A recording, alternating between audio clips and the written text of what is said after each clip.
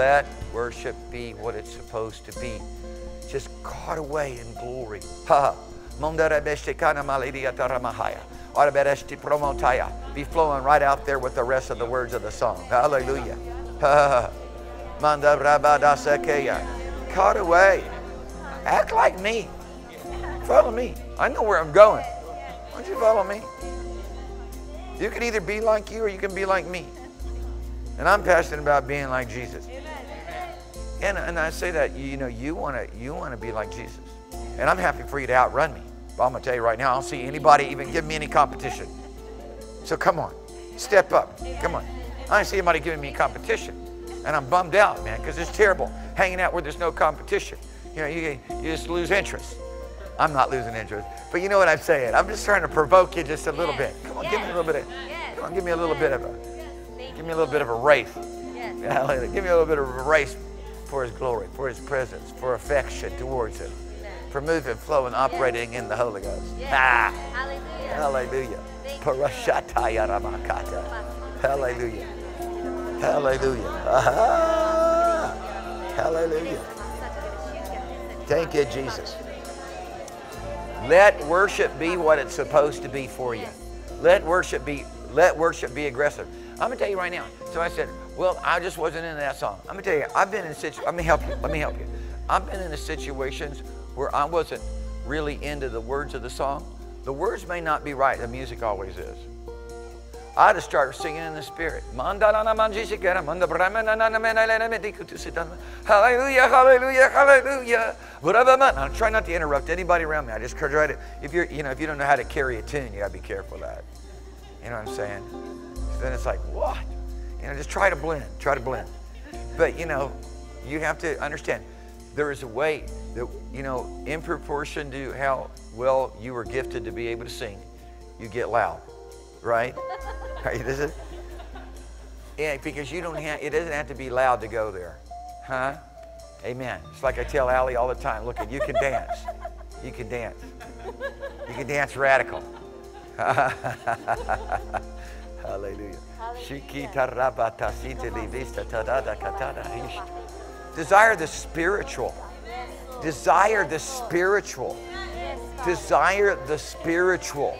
Desire what God the Holy Ghost has showed us to, to be and to do. Come on now.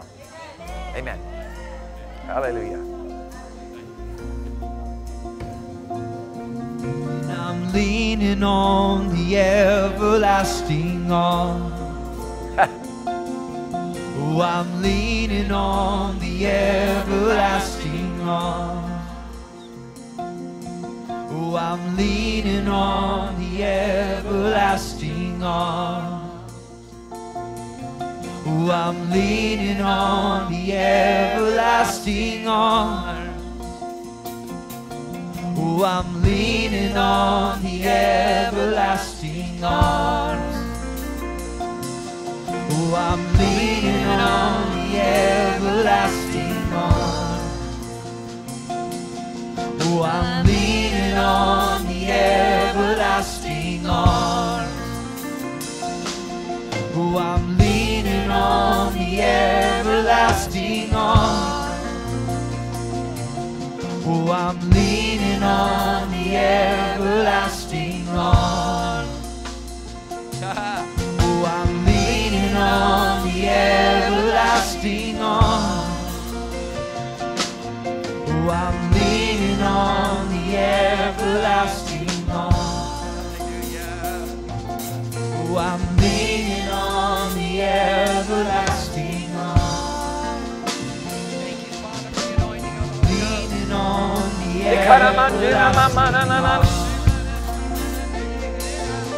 I'm leaning on the everlasting arms.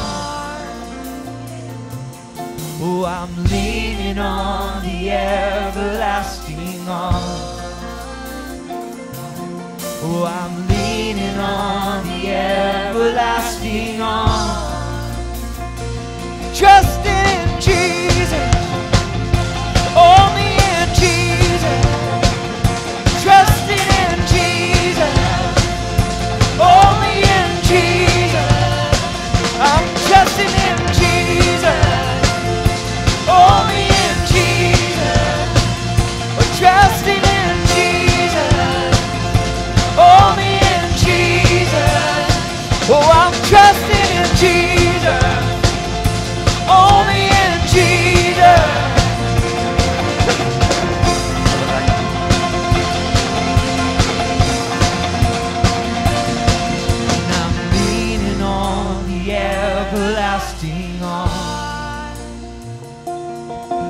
I'm leaning on the everlasting arms. Oh, I'm leaning on the everlasting arms. Oh, I'm leaning on the everlasting arms. Oh, I'm leaning on the everlasting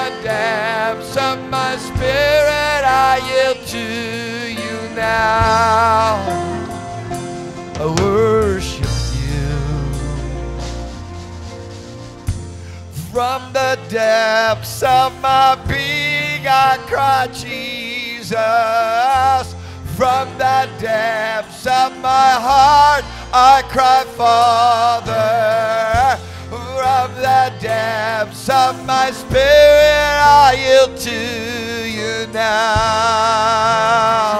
I worship you.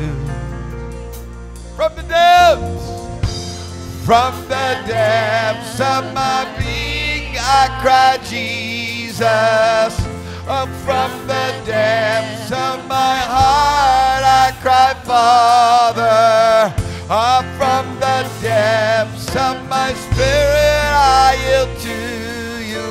now. In worship, I worship you. So hungry for you thirsty for the water that you're giving, hungry for the meat that you're supplying. Oh God, I cry out to you.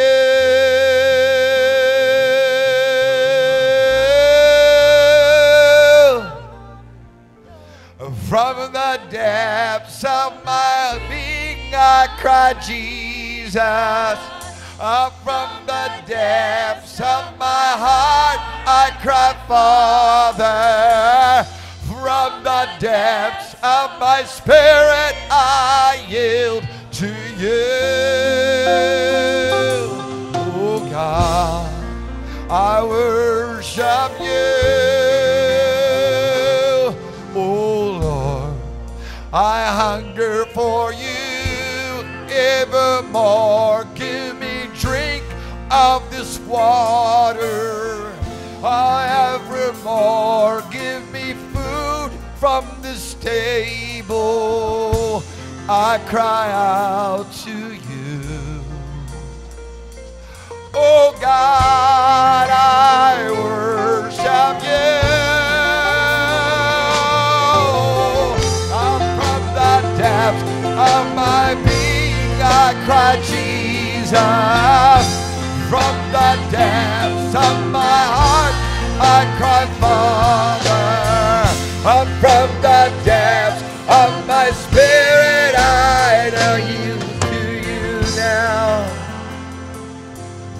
God, I worship you, my Lord. I hunger for you, oh God. I thirst for you evermore. Give me this water to drink, Lord evermore this meat from your table. I worship you. I worship you. From the depths of my being, I cry, Jesus. From the depths of my heart, I cry, Father. From the depths of my spirit, I yield to you now.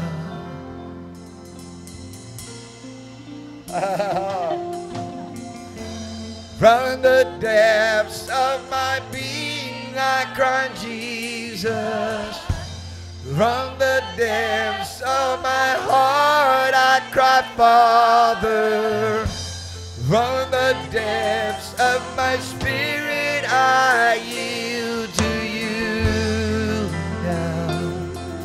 Lord, I worship you, my Lord. I hunger for you my Lord. I thirst for you.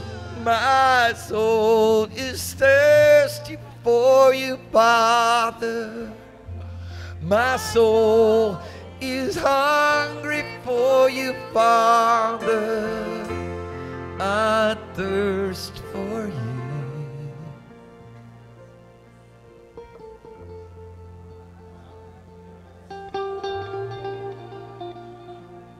Ah.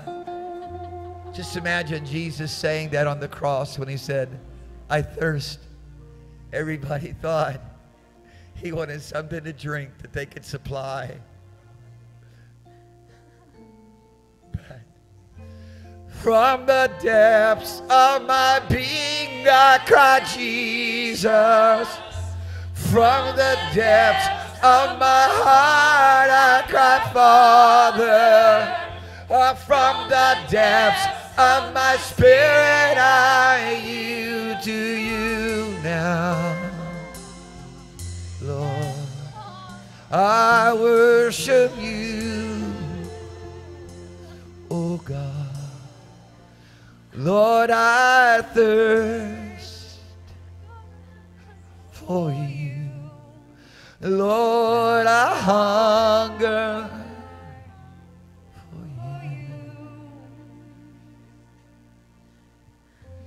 From the depths of my being, I cry, Jesus. From the depths of my heart, I cry, Father. From the depths of my spirit, I yield to you.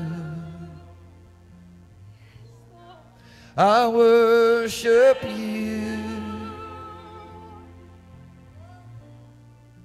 I thirst for you. I hunger for you. I worship you. I'm needy for you.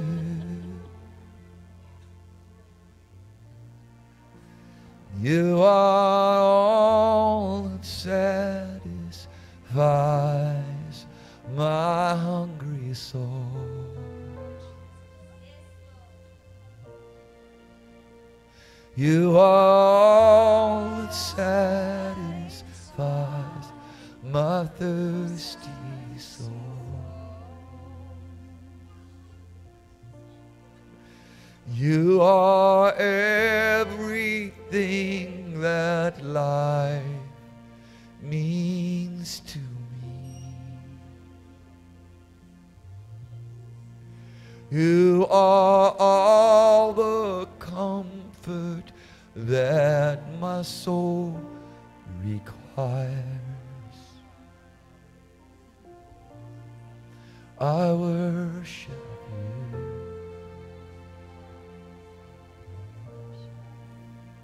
I thirst.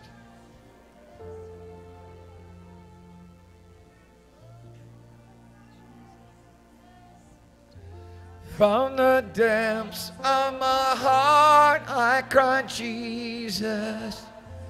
From the depths of my heart, I cry, Father. From the depths of my spirit, now, my Lord. I worship you.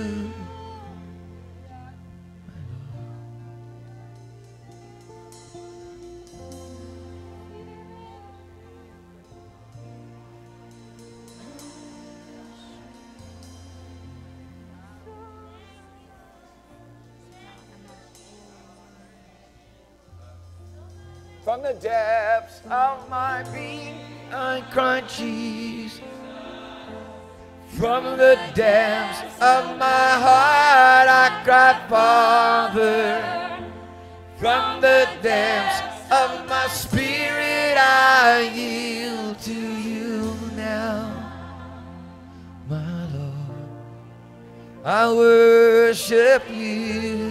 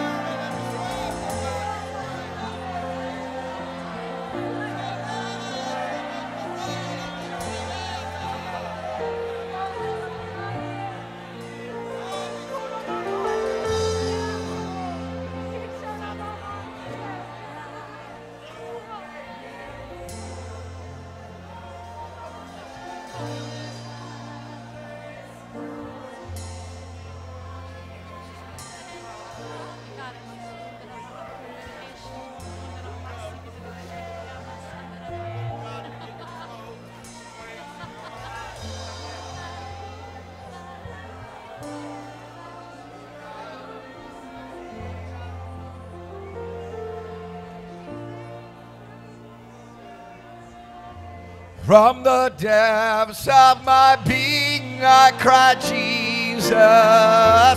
From the depths of my heart, I Father. From the depths of my spirit, I yield to you now, my Lord. I yield to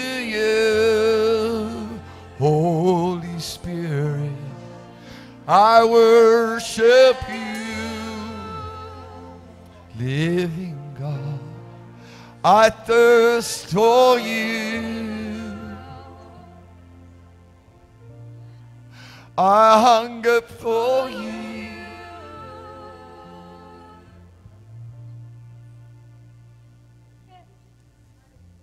Evermore, give me this water to drink, Lord. Evermore, let me eat from your table. Evermore, let me feel your presence, Lord. I worship you. I worship you from the depths of my being. I cry, Jesus. From the depths of my heart, I cry, Father. From the depths of my spirit, I yield to you now. Holy Spirit, I yield to you now, living God, and I worship I worship.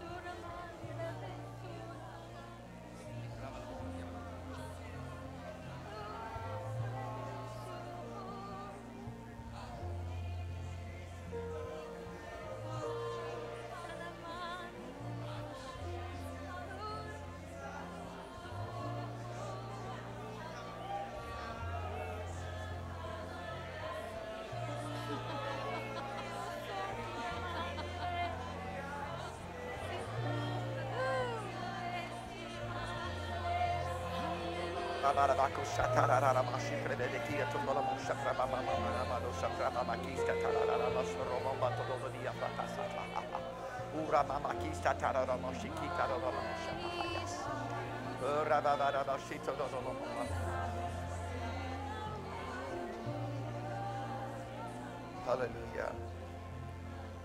Hallelujah. Father, we thank you that you delight praises of our heart that comes from the depths of our being united with the Holy Ghost. Lord, we thank you that you gave to us a Holy Spirit that we might receive the Holy Spirit and be in complete oneness and union with Him. And Father, tonight we ask you in your love and in your kindness and your mercy to do such a work of grace within our hearts and in our lives that there cannot be any shadow of condemnation within our lives, that our heart would not in any way condemn us, oh God, because we find ourselves in this place of relationship with you, in the midst of your glory, in the midst of your promises, in the midst of your goodness, in the midst of all that you're doing on our behalf, as you intercede for us, as you uphold us, as you keep us, as you establish us, as you make our way perfect, as you provide for us. Hallelujah. As you're the author for us, the finisher for us, the beginner for us, the end for us. Hallelujah. So that we need no longer trust in ourselves or look to ourselves, but to trust only in you. Dear people, we, God the Holy Spirit wants to liberate you from anything that would cause you intimidation, self consciousness, or fear, or sense of rejection or insecurity. All of those things are terrible. They're prisons to live in. And uh, hallelujah. The glorious Holy Spirit wants to. You know, people talk about, well, if the Spirit of the Lord is in the place, there's liberty. Well, you know what? If the Spirit of the Lord is in your, house, in your heart and in your own personal house, there's liberty. And then wherever you go, there's liberty. Anybody that knows me, has been around me, I'm going to tell you right now, in this kind of an atmosphere right now, I don't care if there's 10,000 people, 1,000 people, or two people, I will start singing in the Spirit. I will start singing by the Spirit of the Lord.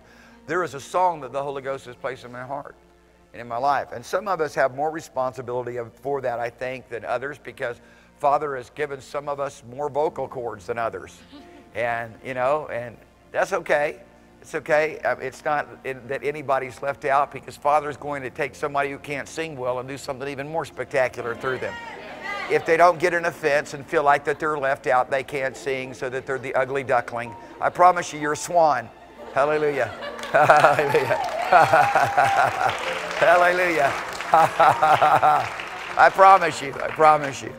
I just want you to get freed freedom is beautiful. Let freedom ring. And I, that free, freedom, freedom is the glorious liberty of the sons of God to no longer be held in restraint about what other people have done to you, what other people think about you, but just in this place, captivated in this realm with, of relationship with Christ Jesus and with the Holy Ghost, to where that you are just, you're having it going on, the private interactions with the Lord in a public place.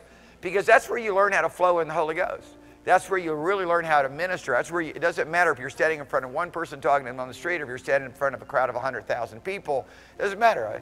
You know, you're not under pressure if you're going to get up the next morning or the next evening and you have to, you know, preach to a bunch of preachers. Imagine that, that the Lord would have you go and preach to, you know, maybe a, a crowd of three, four, five thousand preachers, and you basically, you know, sleep in late and uh, barely, you know, just do, you know, you're not concerned about it at all because you're in a place, you know, you can, you're, you're going to get to that moment of, of having a, a demand placed upon you, and you're going to run and hide away in a realm of private interaction. Hallelujah. Hallelujah. In a secret place with Him. Praise God. And, does, and that, that's liberating. Uh, you know, I would hate to live under the pressure that people live under in ministry. I just, that would be terrible. I'm always having fun. I have fun. I delight in, I enjoy studying the Bible. I don't do it because I have to. I'm not begrudgingly working my way through it. You know, not constantly drinking coffee to try to keep myself awake. I'm energized by the word itself. Hallelujah. Praise God. My wife is a witness to this. I mean, because there's a lot of times people are just spouting off stuff and they're really, they're, you know, they're exaggerating or they're not fully telling what there really is going on. I, I'm, I'm trying my very best to communicate to you really what's going on in my life. Not so that somehow it's self serving, but so that I can encourage you in terms of what is the right way. Because er, every one of you guys, God's got an anointing upon you, a call of God upon your life. And you're going to do it, you're going to learn how to do it according to the fashion of you, which is man, you and somebody you like, man. Or you're going to learn how to do it after the fashion of relationship, intimacy with God, so much so that you don't even need to take thought, you don't have to worry about it. It isn't for anybody else, anyways. It's to Him. I ain't singing to anybody. I'm not singing to anybody. I'm not singing to anybody.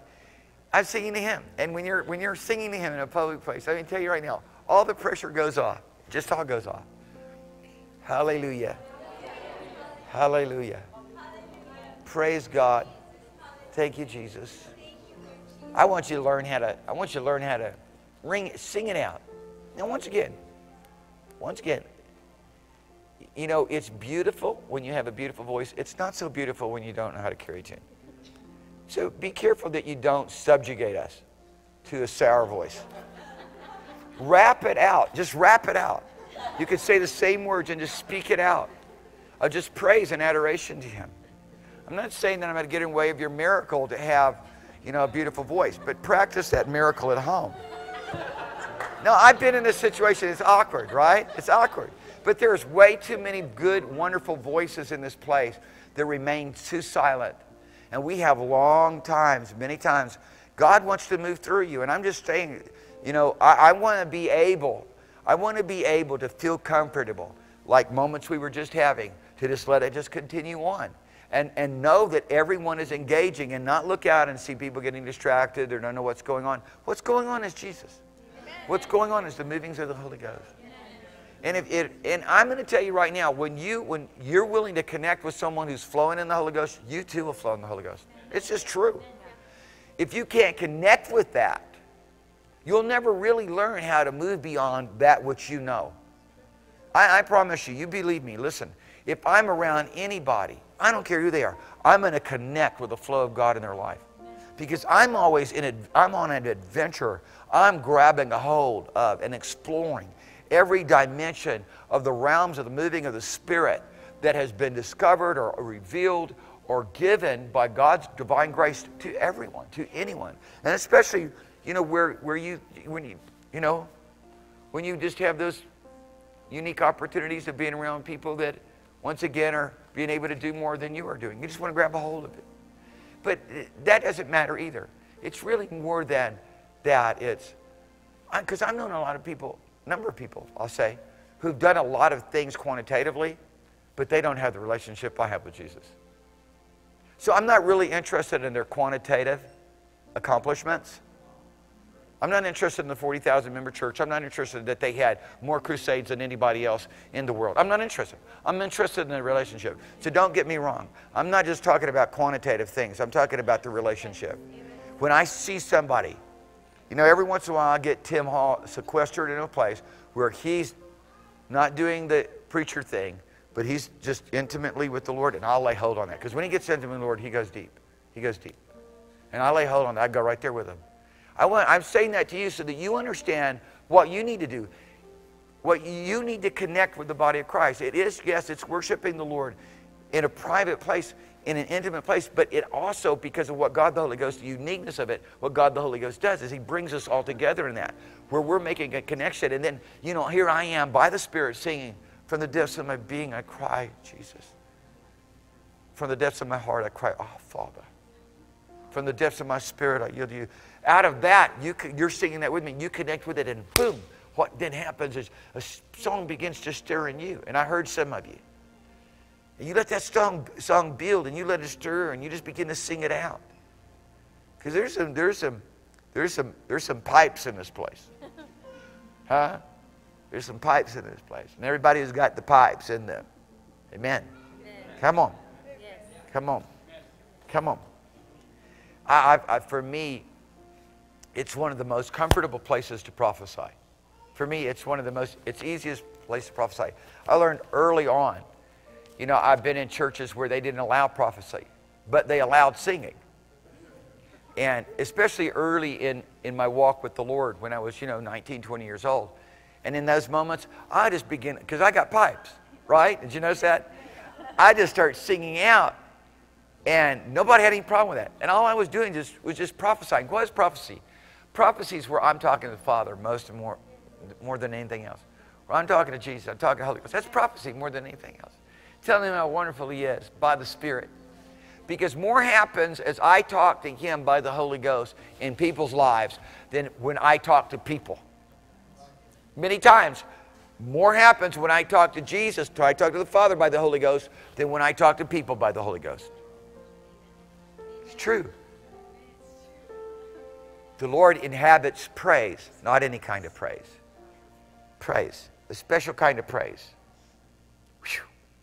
one that is ignited by the fires of the Holy Ghost, that flows out of our being by the Spirit of the Lord, one that comes from drinking of this water that He supplies right now in the realms of spiritual, desiring the spiritual, desiring the spiritual. Hallelujah. And you know, I want, I believe that there are things sometimes that get in the way because I'm a radical preacher.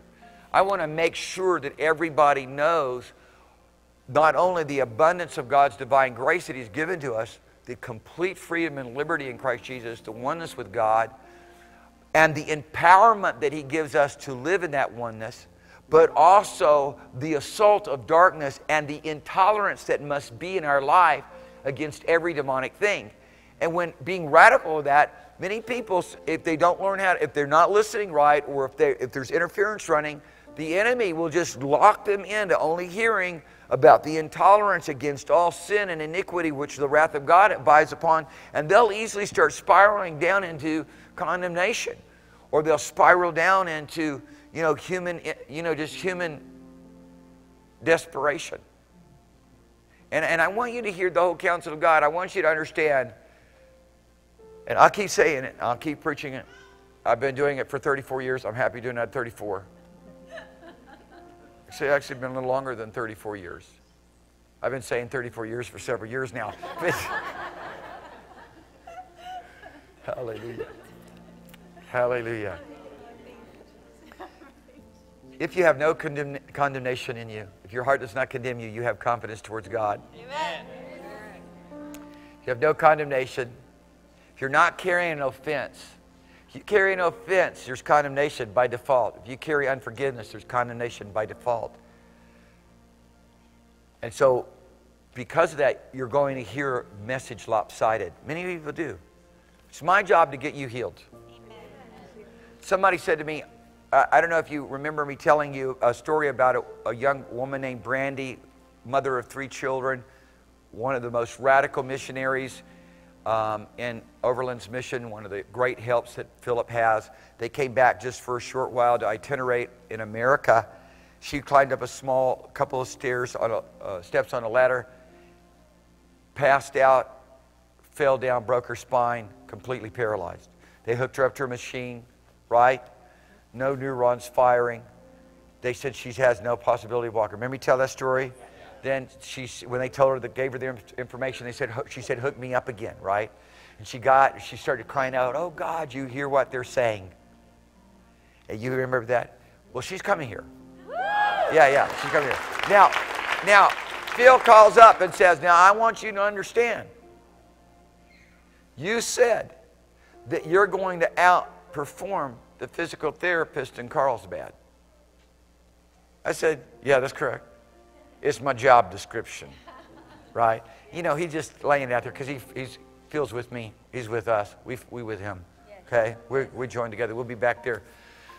You know, this will be our third year in the row. We're so honored to be able to go and do their revival week. They have a revival week, you know. Praise God. We keep getting invited back. Hallelujah! I'm honored. I'm just, I, I'm just honored. I'm honored at what God is doing. You know, just lighting the fires of Pentecost. That's what we do. I- uh, That's what I do. It's what I and Ann and, and do. And that's what you're supposed to be doing. And you need to get those fires lit every time you're in the place. You better not allow anything but the fires of Pentecost to run your life. That has to be your expectation. Otherwise, you're not desiring the spiritual. And you might as well go join the Baptist. So you don't have to feel, you know, like under pressure. Of course, I'm not under any pressure. I'm just hungry and thirsty. You know, hungry and thirsty isn't pressure. It's, huh? It's a neediness. It's something that's so needy you want it. Yes. Oh no, I'm hungry. No one ever said that. Ah, man, I just, just can't believe it. You know, they expect me to eat three times a day. I just can't even believe it. It's just like, it's, wow, this is just so taxing. Three times a day. And then all the money I got to spend on that. And then the time cooking it. And then the time eating it. And all the rest of the consequences that come along with that. This is just, this is just ridiculous. You don't hear nobody saying that. You don't hear nobody saying that. You know, that just needs to come up and witness against the other things you are saying. when it comes to serving God and walking with the Lord Jesus, which is far more important and far more necessary and far more rewarding. Sitting at his table, drinking of his water, eating of his bread, having this meat to eat, this spiritual food, this life, this glory, getting prepared. I am getting prepared for my presentation to God Almighty. I am being prepared. I mean, for my face to face presentation to behold the glory like a seraphim has never been able to see in all of the ages that, it, that that seraphim has existed. I'm getting ready. I'm getting myself, I'm getting ready. And if you don't understand where you're going, you're never going to value the time that you have. You're never going to value your time. You need to commune with yourself, your own heart, so that you can number your days, so that you can begin to value your time. Because we waste it on all kinds of nonsense, and especially frustration and despair, huh? And rejection and fear and intimidation. Just spend some time in the presence of the Lord. You'll never be intimidated again.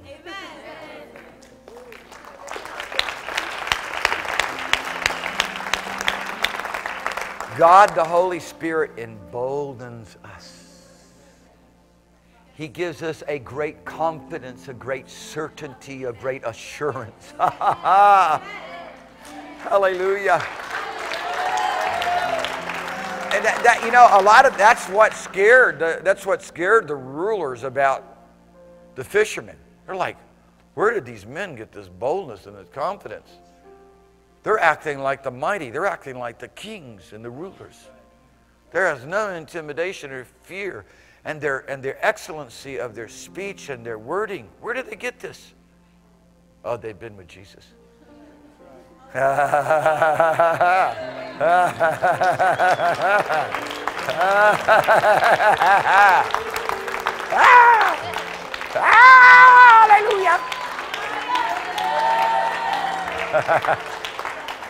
Hallelujah. Hushabotaramanea. And we're talking to you like this. We're me and the Holy Ghost and Jesus and the Father.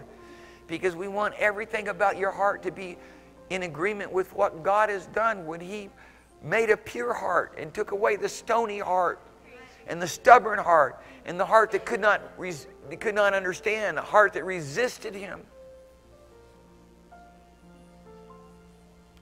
So then now you can just be so yielded and so pliable and so molded. I wish I could remember that song we were doing at the end of the service on, on Sunday night. Hopefully it got recorded. I thought it was a beautiful song.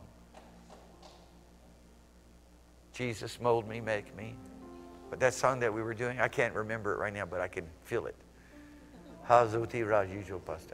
I tell you what, I'll write the songs and you remember them. I'll write the songs by the Spirit and you remember them by the Spirit. I think that that is a good relationship. I think that is a proper kind of, you know, proportioning of the work. Amen. Amen. And the responsibilities. Praise God. You take them up and you begin to sing them. Hallelujah.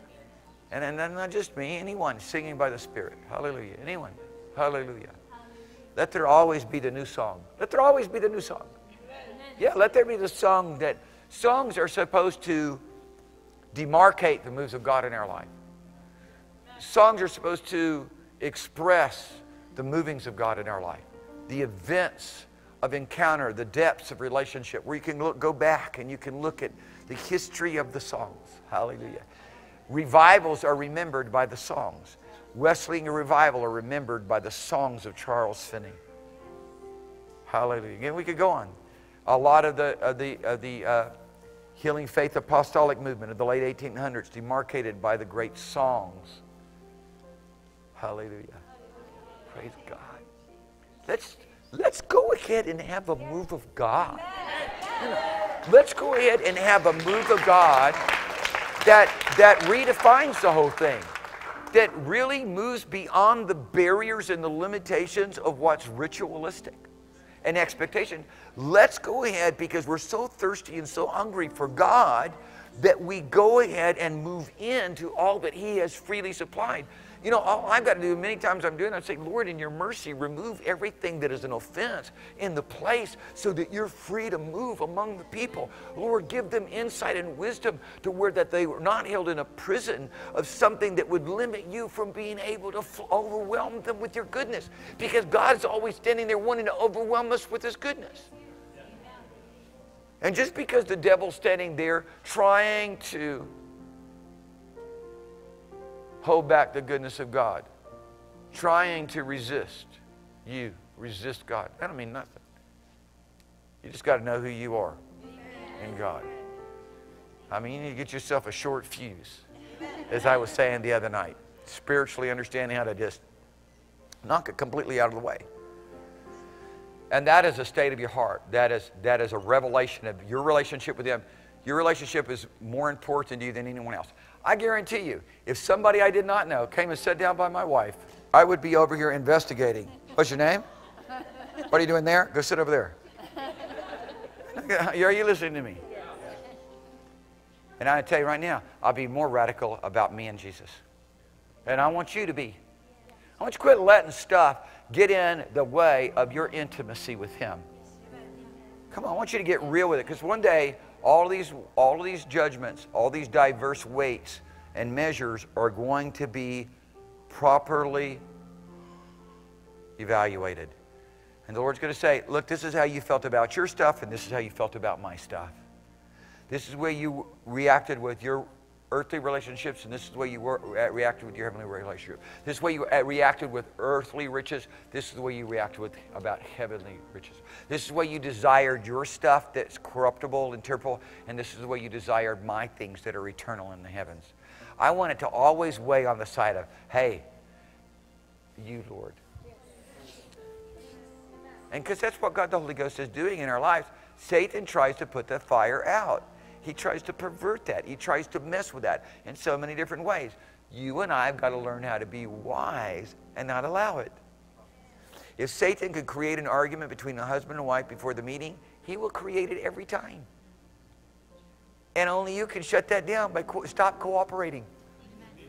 Or I can go on with the list of things that would be running interference with what God wants to do in your life to just make you of a no account, to, to cut you off from the, from the supply of the Spirit to strengthen you and build you up. Yes, thank you. And praise God for everybody that's watching us right now all over the United States of America, people in Indiana, Georgia, just amazing. I just, the, the emails I get, Montana, all over Washington State, Florida. Praise God. And I, you know, every, I was just so many states, so many states. We love you. There's a supply of the Holy Ghost coming to you. I know that some of you are in places where there's really no place to, to go and just flow in the Holy Ghost. And, and I know that many of you would love to be able to relocate and be here and all of that. And praise God. I mean, I, we are honored. And so you just grab a hold of what Father is supplying because He's not going to leave you out. And I just want to say to you guys, look, come on. Don't be unmindful or unaware of the day of your visitation and of your opportunity. Okay? Go ahead and just get hungry for spiritual things. And hook up with the Holy Spirit. Hook up with me and the Holy Ghost. And let's just move into a great move of God. You know, uh, someone said to me, they, they, said, they said, How do you keep yourself from getting in a rut, getting disappointed, getting burnt out? How is it that you're always able, if a Philistine stops at the well, dig another one? I said, first of all, I know how no Philistines around digging, stop on no wells. Second of all, I just keep flowing in the Holy Ghost, build myself up in most hope. I'm just happy with the relationship. What my, the difference is between me and many other people is I don't need any extras. I got Jesus, that's all I'm uh, interested in. I have the Holy Ghost, I just want His presence. That's it. So I'm going to get that. That's never going to be withheld from me. That is my definition of success.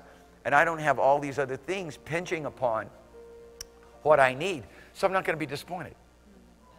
You know, I want to rise up into the fullness of all the expressions of God's divine power. And I am. I will. I will. I will. And I am in expectation to see Brandy. She's coming here because there's a physical therapist in Carlsbad who is specialist in getting these neurons firing again, kind of thing. But you know what? I'm not interested in that. I'm not satisfied to stand by and watch some man's program do the work of God. I mean, I mean, I am after this thing, and you need to be after it too. I wanted to walk in this place. You know, I'm thinking about, thinking about. They're only going to be here for a short time, and uh, they're going to. We, we've offered them the parking lot to be out here in the parking lot of the church with an RV, and and. Uh, but I'm just thinking, my goodness, we all just have church service every night while they're here. And just press in, because, but, but it's not, I'm always pressing in for that thing. I'm not here just showing up. There are, you, if you're not careful, you can slide into a place of being faithful where you just show up. You're just being faithful to show up. No, no, no, no, no, no, no, no. That is wrong. That, that is the enemy running interference with really what's really in your heart to do. You're, mis- you're misunderstanding what the call is. We're here pressing in. We're pressing in. Listen, and you know, people think, well, you know, once the battle is turned in your favor, you can relax. No, no, no. You're learning how to press in now so that when the battle is turned in your favor, you know how to press in even more with greater violence and intensity. Because that's when you that's when you finish it. When you got them in retreat, you don't let them run away. You kill every one of them before they get gone. Huh? Huh? huh? It's like the general said, it's the black flag. You kill everyone. Kill them all. So that the, the rebellion will never rise again, kind of thing. Black flag on every demon spirit, I can tell you. and everything that would hinder, and everything that would prevent. I believe that the Lord waits and develops us into such intensity that people who are not full of faith and really relentless about this, they fall by the wayside. They just give up. Well, I've been going at this for three years now. I've been going at this for 25 years. Big deal. What, you think the Father didn't notice? What are you saying? You're doubting that he exists? Is that what you're trying to tell me? Because that's really what the underlining message is. It's listening to a liar will shut those things down. So you listen to me. I'm here tonight to help you. Amen. By the Holy Ghost. Yes. I'm here to help you tonight. Amen? Yes. Good. Praise God. Come sit down, everybody. Come be seated. From the depths of my being I cry, Jesus. From the depths of my heart I cry, Father. From the depths of my spirit I yield to you now, Holy Spirit. I yield to you now, Holy Ghost. I worship you, my Lord. I thirst for you. You know, while I was singing that song, I, I was, I, I just got a revelation. while I was singing this song. And I, I just saw Jesus saying, I thirst. And I, and I saw him saying that in a way that I've never saw in my, in my life. I saw him telling Father, I thirst for you. I thirst for your presence. I thirst. He had recently said, Eli, Eli, lama sabachthani. That the presence of God had drifted from him, as it were, was distanced from him. Not on him as he had always felt. And that, have you ever felt that? Thirst. Oh, to be always overwhelmed with his presence. Mm-mm. Hallelujah. Come on. Papa likes that. I'm telling you, Father likes that. I promise you. He likes hunger and thirst. He likes it when we desperately want to be with Him rather than with all of our stuff that is meaningless. Because He really wants to be with us desperately. And tonight I want to convince you of that. I want to convince you of how desperate Father is to be with you. Hallelujah. Hallelujah. And I want you to just take the verses of Scripture that I'm going to give you tonight. I want you to bathe yourself in it. I want you to soak yourself in it. And if you do, if you'll give yourself over to this relationship, you'll never have an offense in your life. You'll never have unforgiveness in your life. Huh? Because God's goodness and mercy extended to you will always be bigger than the offense. His forgiveness for you will always be the means by which it's so easy for you to forgive everybody else. You're cap- being captivated with His love doesn't really results in uh, a, a, pro, in a, a state where you don't really need people to love you. You're just in love with them. Hallelujah. Hallelujah. It's just a beautiful thing. Yes. And, we, and God, the Holy Spirit, just wants us to experience this. Where you not where you're not just like needy, needy, needy, needy, need, need, need, need, need, need, give, give, give, give, give, give, please, please, please, give, give, give.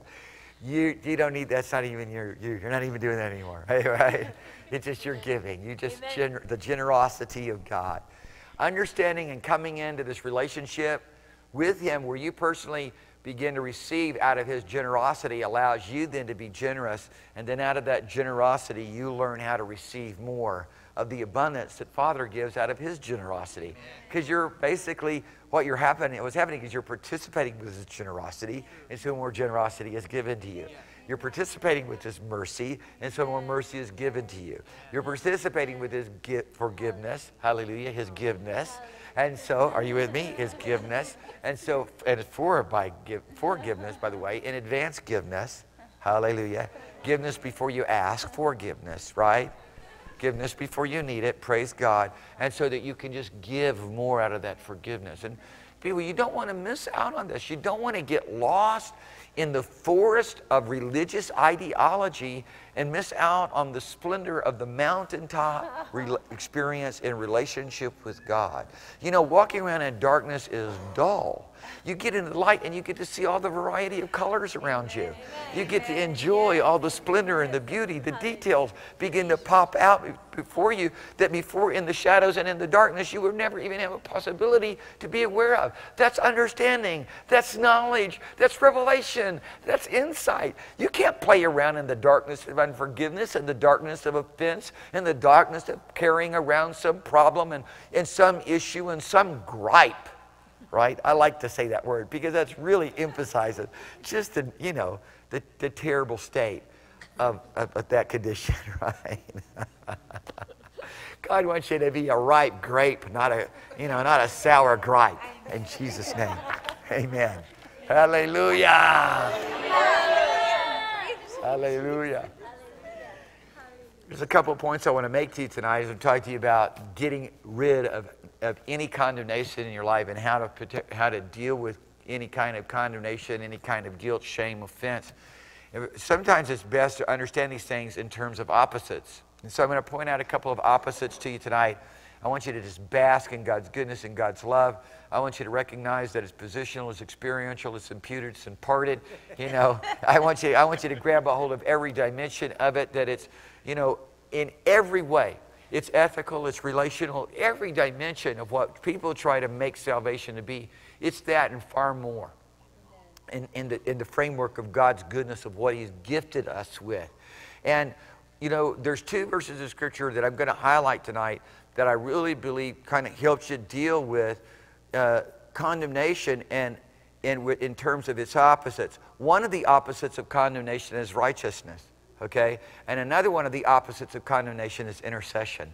And I want you to believe, as I'm going through this tonight, with everything, the intensity of Father's disposition against sin and iniquity, I want you to understand that those who come to Him, he will in no wise refuse. And He's promised to uphold us, to establish us, to perfect us, to keep us. Come on. He's the author, He's the finisher, He's the beginning, He's the end. He's the one who started it, He's the one who's completed it, He's the one who will uphold us, He's the one who keep us from falling. He's the one he, that nothing can, that, that, that stands faithful to keep to, to prevent anything from plucking us out of his hand. It goes on and on and on. I, we lose sight of all of God's commitment to us to keep us we look at we lose sight of all of God's commitments to perfect us.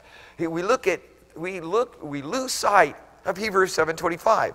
He is able to save us to the uttermost.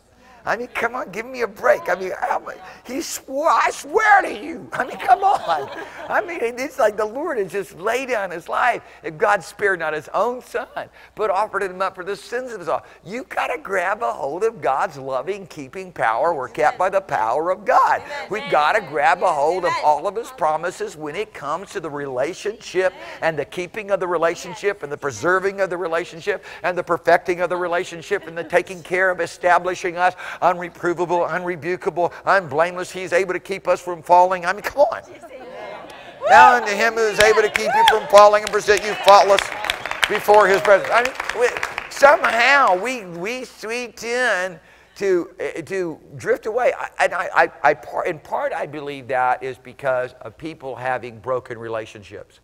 If you break relationships and you break covenant and you don't know how to forgive and you don't know how to move past the offense, then that same thing is going to be measured back to you again. Spiritually, you won't know how to move past that and receive from God all that He is doing to keep and preserve and uphold that relationship as He's promised. And, you know, one of the cures of this is you don't try to fix yourself, number one, He fixes you. And you begin to meditate upon God's Word and you begin to cry out, God, Father, I want to get this right. I want to get relationship with you right. I want to have it according to your divine order. I want to see you're the one who's in charge. You're the one who paid this price for me. You're the one who keeps me by your power. Lord, you, Father, if, if you give, gave your Son for me, I know that you're also going to give me freely all things by Him. And what does that entail? Bigger than His keeping, perfecting, providing power power that will not let anything. He's got a jealous love. God is jealous. So Sometimes we look at the jealousy on the wrong from the wrong vantage point. He's jealous about holding on to us and keeping us and loving us and pursuing us. And I mean, goodness gracious. Yeah, on the, the we uh, many times we emphasize uh, the other side, the response that needs to be there because that other side is a part of it and it needs to be emphasized. But we've got to keep first things first. We got to look at the fact that the Lord initiated this thing and, and, and, and not just get lost up in our response. And it's too easily to try to be made perfect by your own human effort and your human ability. And I'm a minister to you once again tonight to recognize what God is doing, to worship Him for what He's doing, because when you do, you open up the floodgates of heaven to your spirit to be strengthened, to be encouraged, to be emboldened. Hallelujah! Yeah. Get rid of the condemnation, you're going to start seeing miracles. Amen. Get rid of the condemnation, you're going to start seeing divine provision. Hallelujah. You're going to start seeing favor. My, my, my, my, my, my, my. Everywhere you go, whatever you put your hand to do, it will prosper, it will be blessed. You won't walk around in the mully grubs. Just, that's doubt and unbelief. You don't have time for doubt and unbelief. You cannot afford doubt and unbelief. That's like flushing billions of dollars down the toilet. You, are you listening to me? It's like just throwing billions of dollars to the wind, just throwing, I don't know, doubt and unbelief five minutes of doubt and unbelief would do more damage than 10 days of faith. Shut it down. Amen. Understand your foe. Understand the enemy of your soul. Understand the thief that's come to kill and steal and destroy. You do not, you cannot afford doubt and unbelief Amen. in your house, in your life in your thinking. Amen. And enter, enters in primarily through condemnation, through fear. God delivered us from fear and brought us into sonship. Hallelujah. He gave us not the spirit of bondage, praise the Lord. Hallelujah. But the spirit of sonship, whereby from the depths of my heart I cry, Abba, Father. Listen, it's a glorious, liberating spirit. It's the opposite. Fear is the opposite of this wonderful freedom that we have in the Holy Ghost. Condemnation is the opposite of righteousness. Condemnation is the opposite of intercession. I want you to grab a hold of it. So I'm going to just give you a couple of verse scripture to start off with, and we'll just see how the Lord leads it and, and where He takes it. Now, as God ministers to you, don't you go run and hide in the bush. Because you discover you're naked, you don't want everybody else to see you're naked. We already see your bottom. The Lord already sees your bottom. Are you with me? Naked you came in this world, naked you shall go out. It's going to be an interesting situation when you stand there before the Lord.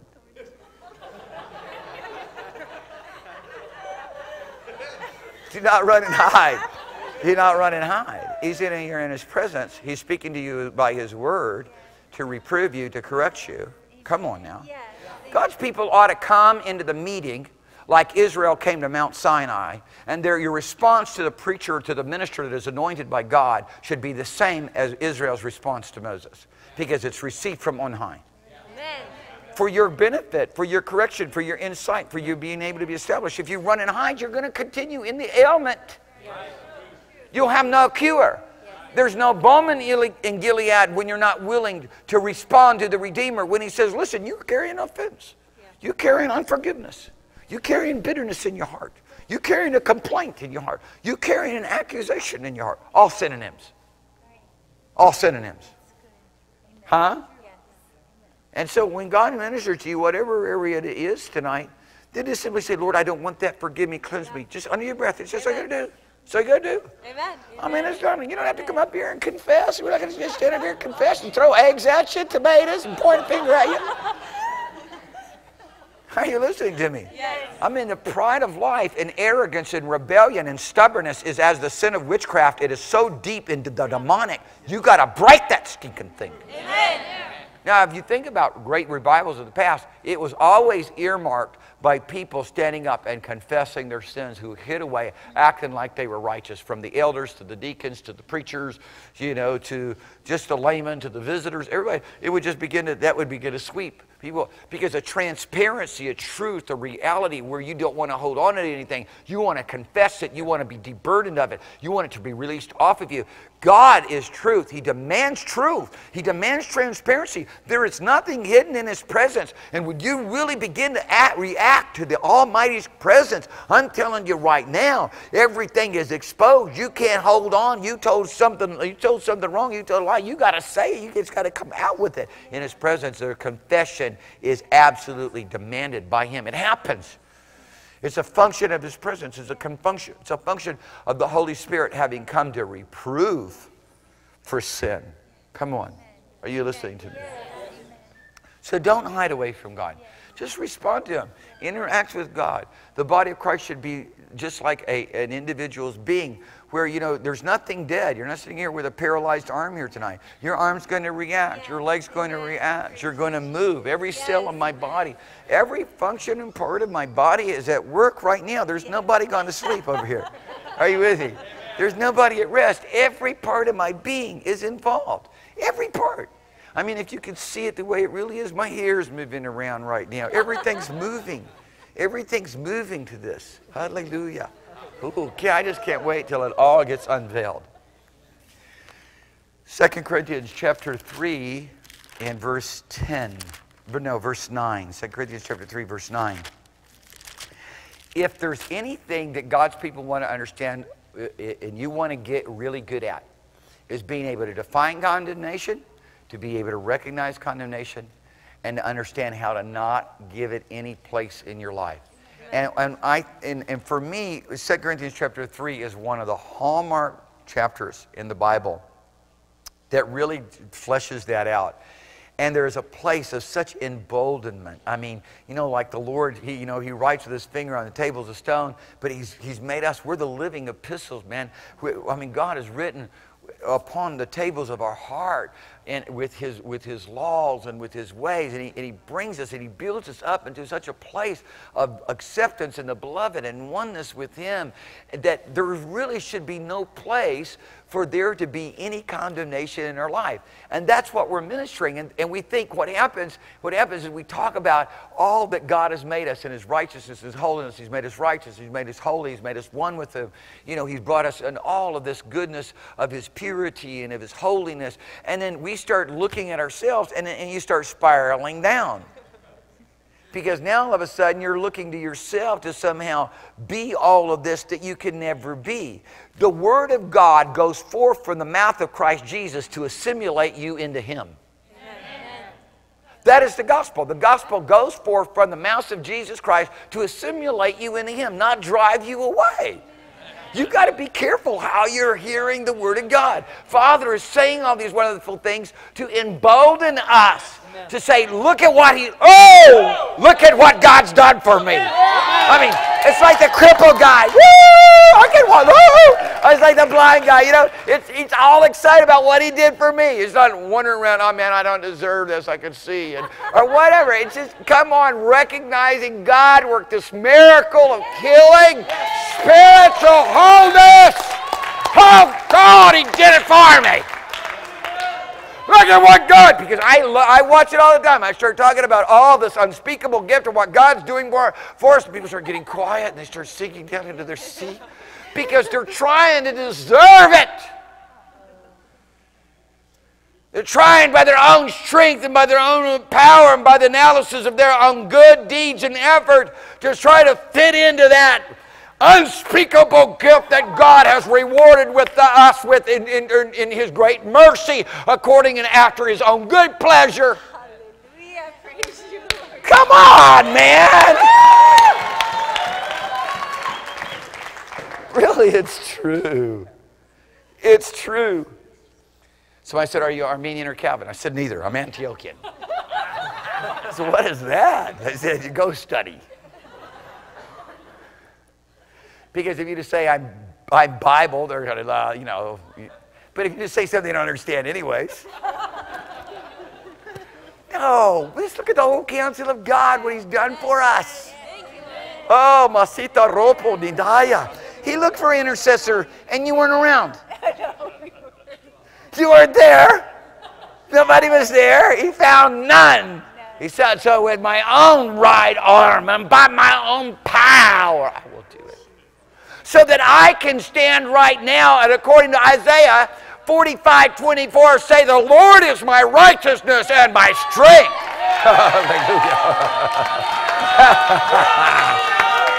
that he, the one that the prophets foretold of, is the one that I now serve, and the gift that they described is the one that I now have. Yes.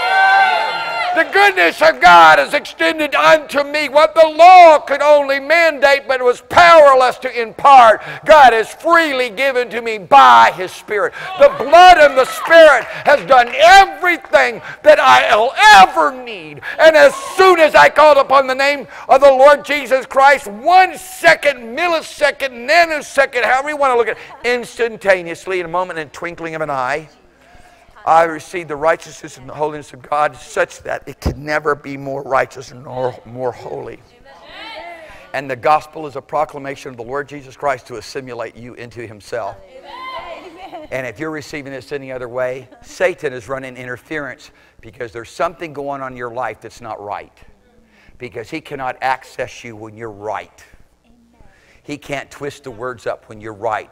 He can't, mind blinding spirits cannot work when you in the light and you come to the light. I come to the light that my deeds may be reproved and that they may be made manifest, that they are wrought by God. By God. By Him. Not by me because I like Him. By Him because I'm submitted to Him. Serving Him. Yielded to Him. You do this, you listen to me. I'm here tonight to pull the claw out of the heart that is, in, in, that is embedded itself, the thorn, as it were, that has embedded itself into some people's lives. And various different areas of blindness of spirit, where you've allowed condemnation and do not know how to fight against it, where you've allowed oppressing evil spirits to hold back from you those things which God has freely given. I want you to step into oneness with God tonight. I want you to begin to take on a spiritual dimension to where that everything you hear from the gospel is, God assimilating you into Himself, calling you into oneness, begging you to be in every way hooked up with Him and all that He is to live and to exist and to have your being in Him and become inseparable. I mean, that's why I think that if people would just memorize Jesus' priestly prayer, how many of you know where Jesus' priestly prayer is? Huh? John 17 is Jesus' priestly prayer. That's correct. If you just memorize Jesus' priestly prayer, it's his intercessory prayer. Look at what he's saying. Look at how look how jealous he is. Everything you've given me, I've none of it shall, none of it shall be lost. Keep through thine own name that which you have given. Come on, people. Come on. Jesus is looking to the higher power. God the Father. Father, keep through thine own name those that you have given unto me that where I am, they may be with me, and beholding my glory that I've had with you from the very foundation. Come on, people. We're going to have to get ourselves into the gospel plan over here, into the goodness, into the mercy, into the grace, into God's work instead of ours. Amen. Hallelujah. Because you do, the enemy's not going to be able to keep you from your healing. He's not going to be able to keep you from your provision. He's not going to be able to keep you from your miracle. He's not going to be able to keep you from your growth. He's not going to be able to keep you from your supply of the Spirit to strengthen you, to embolden you, to encourage you, to build you up, to give you confidence. That's what God is doing. God the Holy Ghost. I mean, come on. Jesus, by definition, is the intercessor. He is not the condemner. He's, he's, there, he's there praying, beseeching, upholding, intervening. Hallelujah. Hallelujah. The law never did that. The law wrote out, this is the way it is. And there was, there was a condemnation and a death sentence upon not doing it all. You know, men thought that at that time that the law was going to make them acceptable to God, but the law had a far gr more grandeur plan and purpose, a far greater purpose. It was to bring us to Jesus. Yeah which is far more than making us acceptable to God. Oh, listen to me now. Oh, you need to be careful. You need to listen. It did far, what Jesus did was far more than make us acceptable to God. Can you hear me? Yes. Do you know what it is? Do when I said, because if you don't know what it is, you're like, you're stuck, right? But if you know what it is, what it really did, it did far more than make me acceptable. And I know how to fill in the blank. I know what it did. It made me one. Whoa. Ah! You got to be kidding me. That's the unspeakable gift. That is the uh, that is the that is this this this mind blowing gift of God. That, that you and I can never deserve. We can never earn it. We can never attain it. We can never achieve it. We can accept it and, and treasure it and now grow in it and be developed in it because it's God at work in us. It's God who works. Our, our works are wrought in God by his power, by the Spirit, having begun in him, he's perfecting me. He strengthens me, having authored my faith, he finishes, develops it, grows it, matures it. Mean, come on. We, that's a relation. Hello, this is a relationship. You know, it kind of goes like this He's giving and I'm receiving.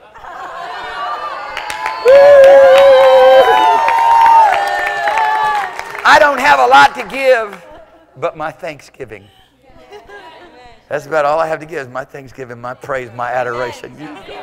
And that's all He wants. He wants us to recognize how much He loves us. It really all comes down to just trusting Him, to say, this is believing on Jesus, to trust that God loves us so much, and now we're just going to trust Him that He's going to do all that He said He would do. That's where Adam failed. Pride of life won't allow that to work. Pride of life, arrogance, stubbornness will not even allow, give place to God to do that for you. And so, you know, we give ourselves this bathing in the Word, this accepting. Hallelujah. Amen. I have no problem recognizing that I am nothing but a street bum called off the street into the wedding because those bid who did those who were bidden who bid to come didn't didn't arrive. So he called him a street bum and he and he gave me a garment, a wedding garment. I got rid of my filthy rags. Hallelujah. Hallelujah. Praise God. And God makes a big distinction between the church and Gentiles. That's why when somebody says, Do you know you're a Gentile? No, I'm not. I'm a part of the church. There's a distinction between the church and Gentiles. As much as there's a distinction between Jews and Gentiles, I, I, you know, I, the church is a distinction. you know, it's like when Paul said, I can't believe what's going on in, in your midst. It's, you know, you got sin going on that's not even named among the Gentiles. He's talking to the church, right? Praise God for his goodness. So 2 Corinthians chapter 3 really lays out for us the distinction between the what's going what was going on then you know that God had a much loftier goal for the law than just making those under the law acceptable to him because the law cannot make them acceptable. It, his goal, his purpose was to bring everyone to Christ Jesus. That's what God says. That's maybe not what men say, but that's what God says. I'm going to go with what God says. And then you can just go ahead and check up and you can read, but boy, you have to get busy. Amen. Amen. Come on. I mean, I'm not saying that you can't pass me up, but you're going to have to get busy. Hallelujah. And I'm saying, come on, I'm throwing the, I'm as it were, throwing the gauntlet out there, you know. Let's get on with this program. Let's begin, let's begin to live out the Word, and absorb the Word, and recognize what the Word does. Is it, it results in us being absorbed in Him. And every time I read the Word, I'm, all I am is just being, I'm just being conformed. I'm just in agreement with Him. I'm being assimilated in Him. I'm finding this oneness and this agreement. Hallelujah. Wow. That's why I want to be in church every night. I want to be under anointed Holy Ghost preaching. I want to hear about some funny little thing and, you know, make light of it all and throw out a few verses of scripture and whatever. You know, I, you know, I said, Lord, I, I, can't, I can't even be like these guys. And this was supposed to be success. I said, I, you know, I don't want, you know, they're all lighthearted about everything. I said, Father, you just made me serious. I'm serious about this. Yeah. I'm serious about the love. I'm serious, but I'm serious about His goodness. I'm serious about having what He's given me. I'm serious about heavenly riches. I'm not serious about earthly riches and earthly possession. My heart's captivated by Him. So He lays out the difference between the ministry of condemnation and ministry of righteousness. And you have to ask yourself as you study, as you study and read over and read over again, 2 Corinthians, 2 Corinthians chapter 3, what ministry are you in? Righteousness. You have to then just keep asking yourself, what ministry am I in? Am I living in the ministry of righteousness? Yeah. Huh? Uh, you know, it's like Paul said in Galatians chapter 3 and verse 21. He said, if there would have been a law that could have imparted life, then righteousness would have been by the law. But the law concluded everybody dead. Condemnation, the judgment. One of the ways to translate condemnation is damned. Those, those that believe shall be saved, and those that do not believe shall be damned. Same word, condemnation. Condemned. The judgment's already been passed. Why the way God feels about sin and iniquity. And the reality of it is, is, is sin and iniquity has been resolved. Romans, and just hold your finger on 2 Corinthians chapter 3 because I'm not done there because I'm still just, I haven't even got over to the other verse of scripture I want to try to get you to. But I have to just do it this way. This is the way I work in the Holy Ghost. But over in Romans chapter 8, I mean, you just got to understand this. And, and, God is saying it over and over again, and I'm going to say it over and over again, and it's supposed to be able to, this good news is supposed to simulate you into Christ Jesus tonight. That there is therefore now no condemnation to those that are in Christ Jesus. I'm in Him. Well, let God assimilate you into in Him. Don't, don't, don't, don't, don't somehow say, Praise God, I'm in Him, and then get stuck on the rest of the verse who walk not after the flesh, who walk not after their human effort, their human ability. They're trying to get themselves right and acceptable and all polished up and shiny and looking good that Jesus might like them more. You cannot add unto the righteousness which He's given. I mean, God has given us the, righteousness of God. If there's any verse of Scripture that describes and declares as a hallmark verse of Scripture of the impartation of this life of God by the Holy Ghost, it is these passages right here in the opening statements of Romans chapter 8. And that's where most people get it from the impartation. If there's anything that would be highlighting the, the, the concept of imputation of righteousness, it would be in Romans chapter 3, verses 24 through 26. That's where we will get it from. But the reality of it is, is God's righteousness has come to us. It's the righteousness of God, which is given to us by faith. People look at faith differently. I look at faith simply as being born of the Spirit, being born of the water, being born of the Word, being born of God the Holy Ghost. Hallelujah. Hallelujah. Well, what's the problem then? What's the issues? Where's the little foxes that we allow to creep in? Where are the adversaries of the mind and the thinking realm that we allow to infect us, to, to, to make us inferior to that, to make us subordinate, or, or less than that, I mean, to somehow work intimidation in our life, to somehow make us feel somehow aloof from all that God is freely supplying? Because being right in the big middle of it, you're sitting down in Dad's lap and you're cozy. Everything He's got yours, Dad. Everything you got's mine, huh? There's an emboldenment there. And praise God that He in His mercy also gives to us His signs and wonders to embolden us more, right? This is Him. He knows our frame. He knows our frame.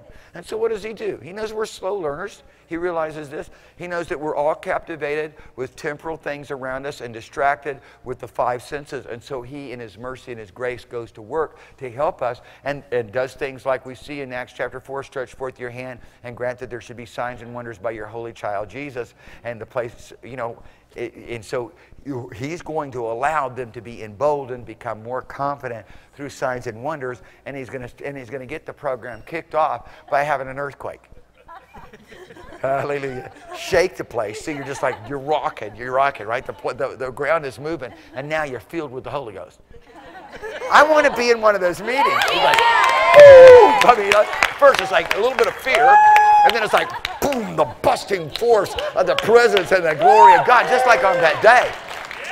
Come on, man. Come on. What is it that we want? That's what we want. Where is our expectation? If our expectations not in what God describes in His Word, then our expectations are just foul. They're wrong. They're misleading. They're a distraction. It's not moving in faith. It's not then of God. It's not pleasing God. If I'm going to please God so that He will come and do those things that He desperately wants to do, I'm going to have to move in faith. The Word of God is describing to me how to move in faith. Amen. Thank you, Lord. Hallelujah. Hallelujah. A lot of people don't like that. I love it because that's the spiritual realm. I'm hungry for the spiritual realm. Why is it you always, why is it you always, you know, doing that you don't tongues thing? Because I, am covetous of the spiritual. I'm hungry for the spiritual. Pentecost done set my expectation for what I want. And I'm saying Pentecost at any cost, let the flow come. I'm not trying, I'm not going to quench the spirit, put out the fire of the spirit. I'm saying, oh God, I want more, not less. I want more. And how can I do that? Because I'm so confident, I'm so comfortable. I'm so comfortable. Because I serve a good God who's full of mercy, who's full of grace. Who, even though by one sin entered into the world, what I'm in is I'm in something that now un- completely broke that power, broke its cycle, really destroyed off that yoke so that now his grace and his righteousness and his goodness and all that he's freely given to me abounds unto many offenses. Because of his intercession. Huh? Because of his ministry of righteousness to me. Because of his keeping power. Because of his consecration. Because of his commitment to me. That results in my consecration, my commitment to him. All the people that are trying to get rid of their sin, they're never going to get rid of it. All the people that are trying to make themselves better, they're never going to get better. All the people that are trying to lay aside their, their sin, the weight so easily besets them, they're not making any headway whatsoever. You're going to have to accept what God has already done and call it done. Amen. You're going to have to receive what He's given. Yes. I don't care whether it's in spiritual or, or physical or financial, you're going to have to receive what He's given. You're going to have to start receiving it. You're going to have to call it done. Hallelujah. Hallelujah. Hallelujah. Praise God. Hallelujah. I'm just so, I'm just so, I was so hungry to see him. I believe that, and I know that the Lord has called me into a greater intimate place with him because, you know, every, and, and, and but you, you can't, you've got to let that relationship, there's things I can't tell you that God's doing with me and in my life because it, it's, it's, it could be just too much for you where you're standing in your relationship with him right now you got to go ahead and let that relationship develop and grow and mature so that can, the Lord can place those things upon your heart. And it's not some legalistic thing, some have to, some obligation. It's a pull, it's a draw. It's Him calling you into a deeper relationship of working with Him in the things that He's doing. All I'm doing here, people, is I'm laying out the fundamental ABCs that help you learn how to spell words. That's all I'm doing here. I'm laying out the 1, 2, 3, 4, 5, 6, 7, 8, 9, 10, so you can add 2 plus 2. That's all we're doing. This is foundational stuff. And you've got to get the foundation. If you don't get the foundation, I mean, hooked on phonics is good.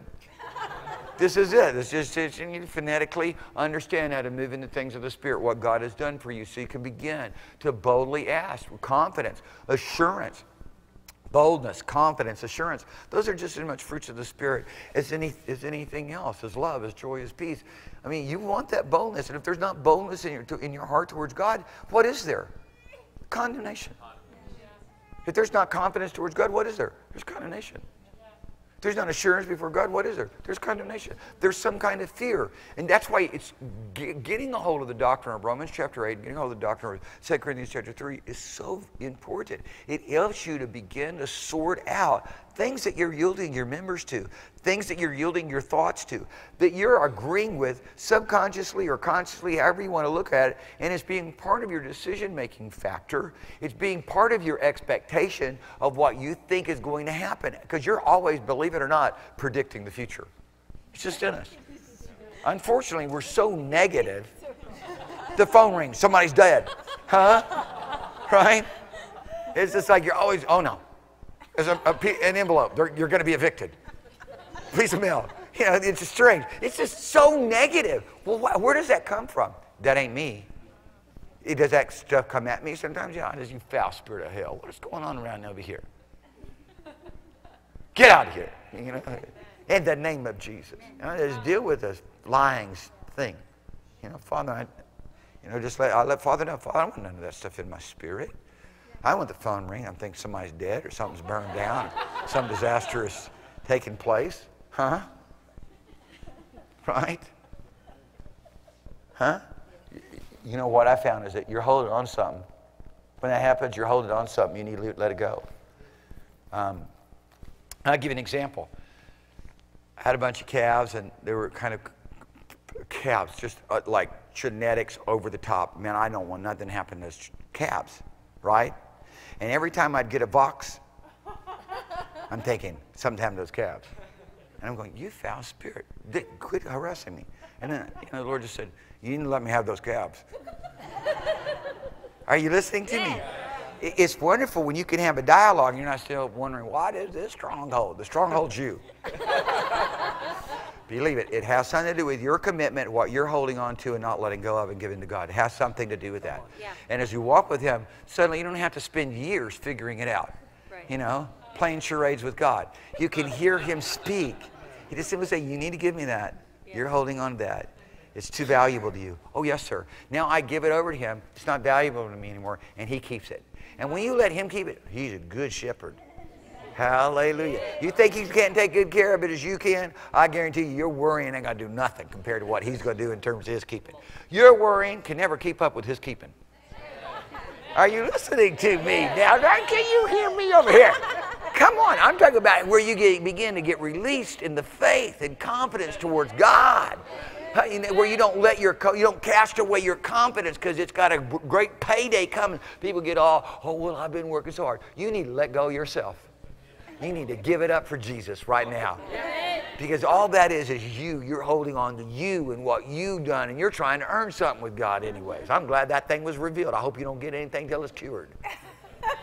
Amen. Are you listening to me? You got to understand, Father, I see I'm, uh, I'm making this too much about me. I'm going to start worshiping you. Then all of a sudden the breakthrough comes. You release it to God. I'm going to tell you right now, things get good quick. So much of this, this is just the motives of fear. We were all our lifetime held under the bondage of fear. But God, in His wonderful grace, brought forth the Spirit of His Son into our heart, crying, Abba, Father, everything's good now. When God's your dad, I mean, you are in charge. Are you listening to me? When God is your father, give me a break. What problems do you have now?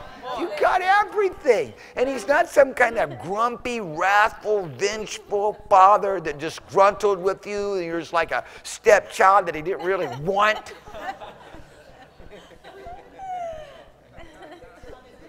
People, we got to, uh, I want to help you here tonight. I'm doing my very best to try to bring you on over here into intimacy and love. I mean, how he cares for us.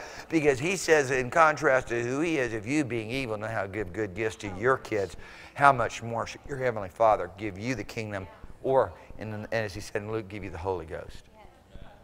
Come on. Come on. I want you to get comfortable here tonight. I want you to recognize what ministry you are under. Are you under the ministry of condemnation? Draw not nigh.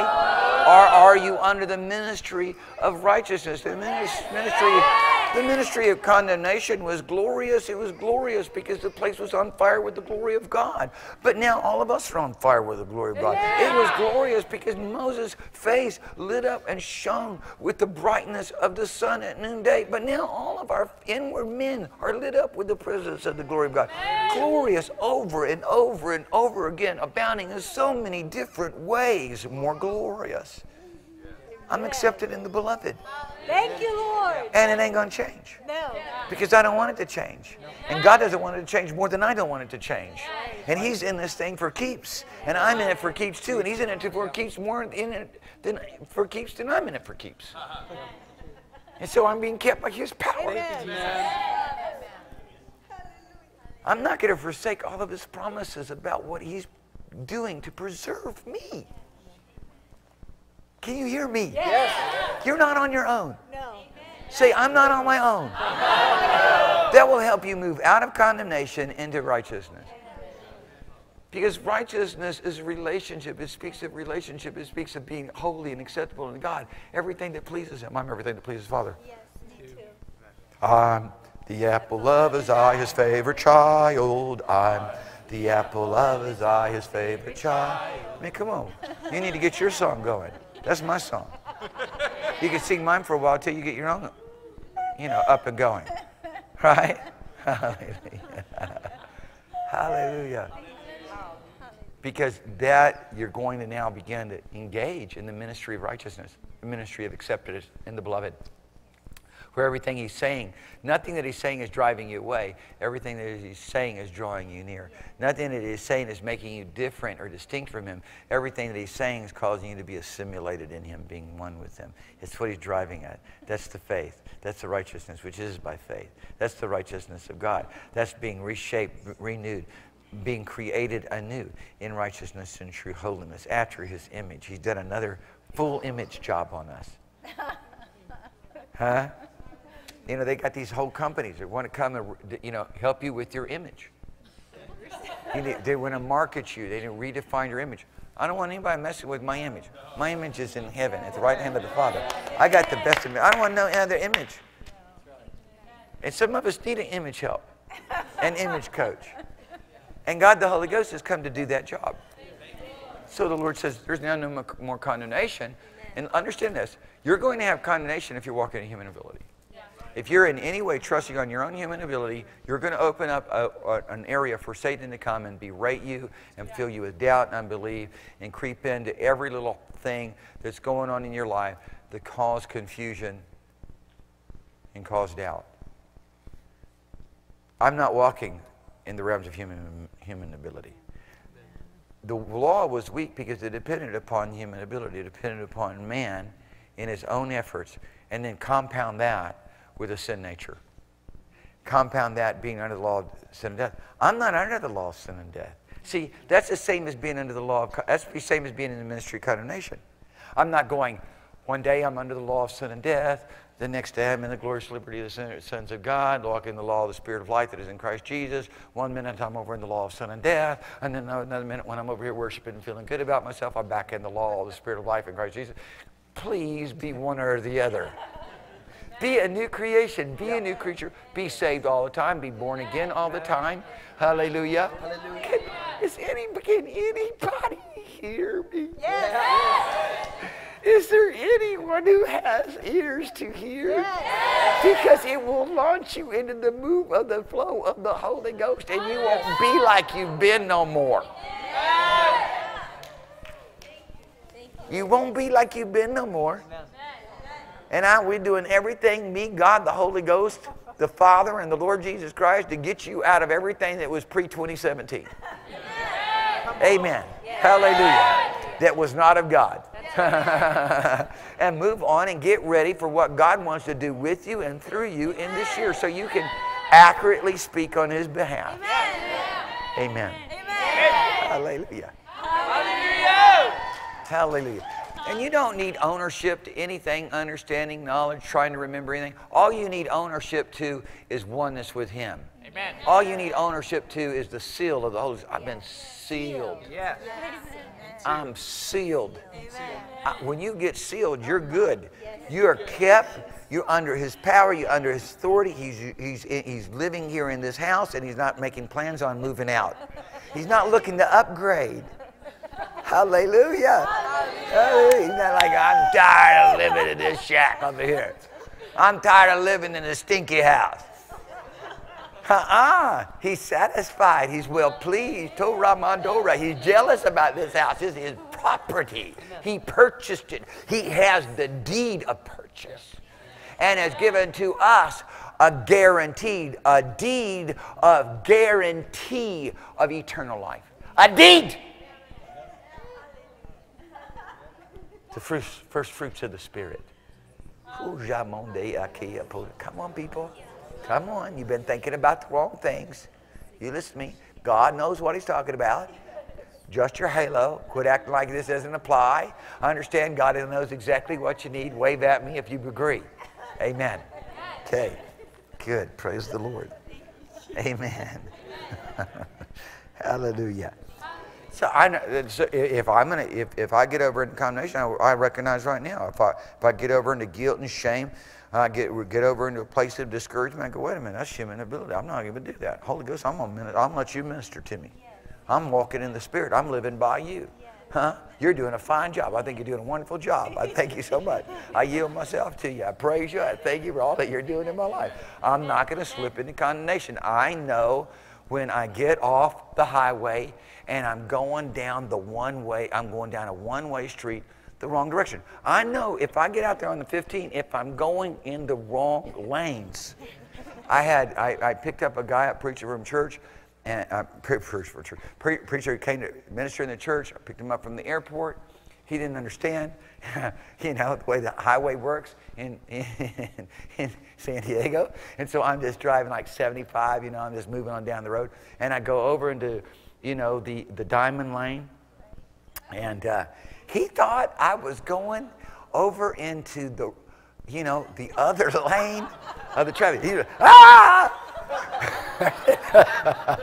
I said, it's fine, it's okay. He said, wow, I'm glad you know what you're doing. I said, yeah, we hope so. You know, I'm not going to go out tonight and get on uh, the, the, the lanes of which the traffic is coming in my direction. Because I can read the signs. Praise God. I got a feel for this thing. I'm going to go where the lights are going away from me, not going at me.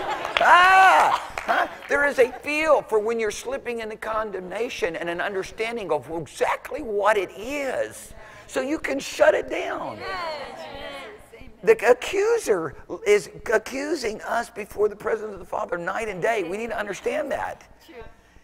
We, we need to understand that that is what he is. He is the slanderer.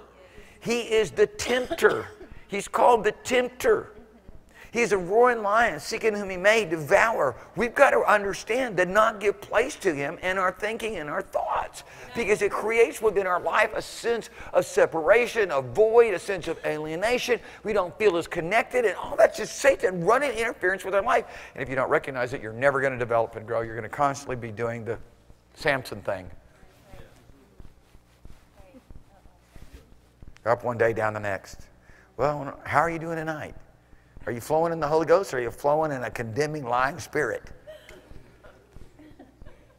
Can't really rely on a person that you don't know. Flip a coin. How are they going to be tonight? Should we give them the mic? Should God give you the mic? Think about it. You need to always be ready. You need to be prepared to be instant, in season, out of season. Hallelujah. Be continually filled with the Spirit. And quit allowing yourself to be filled with anything else.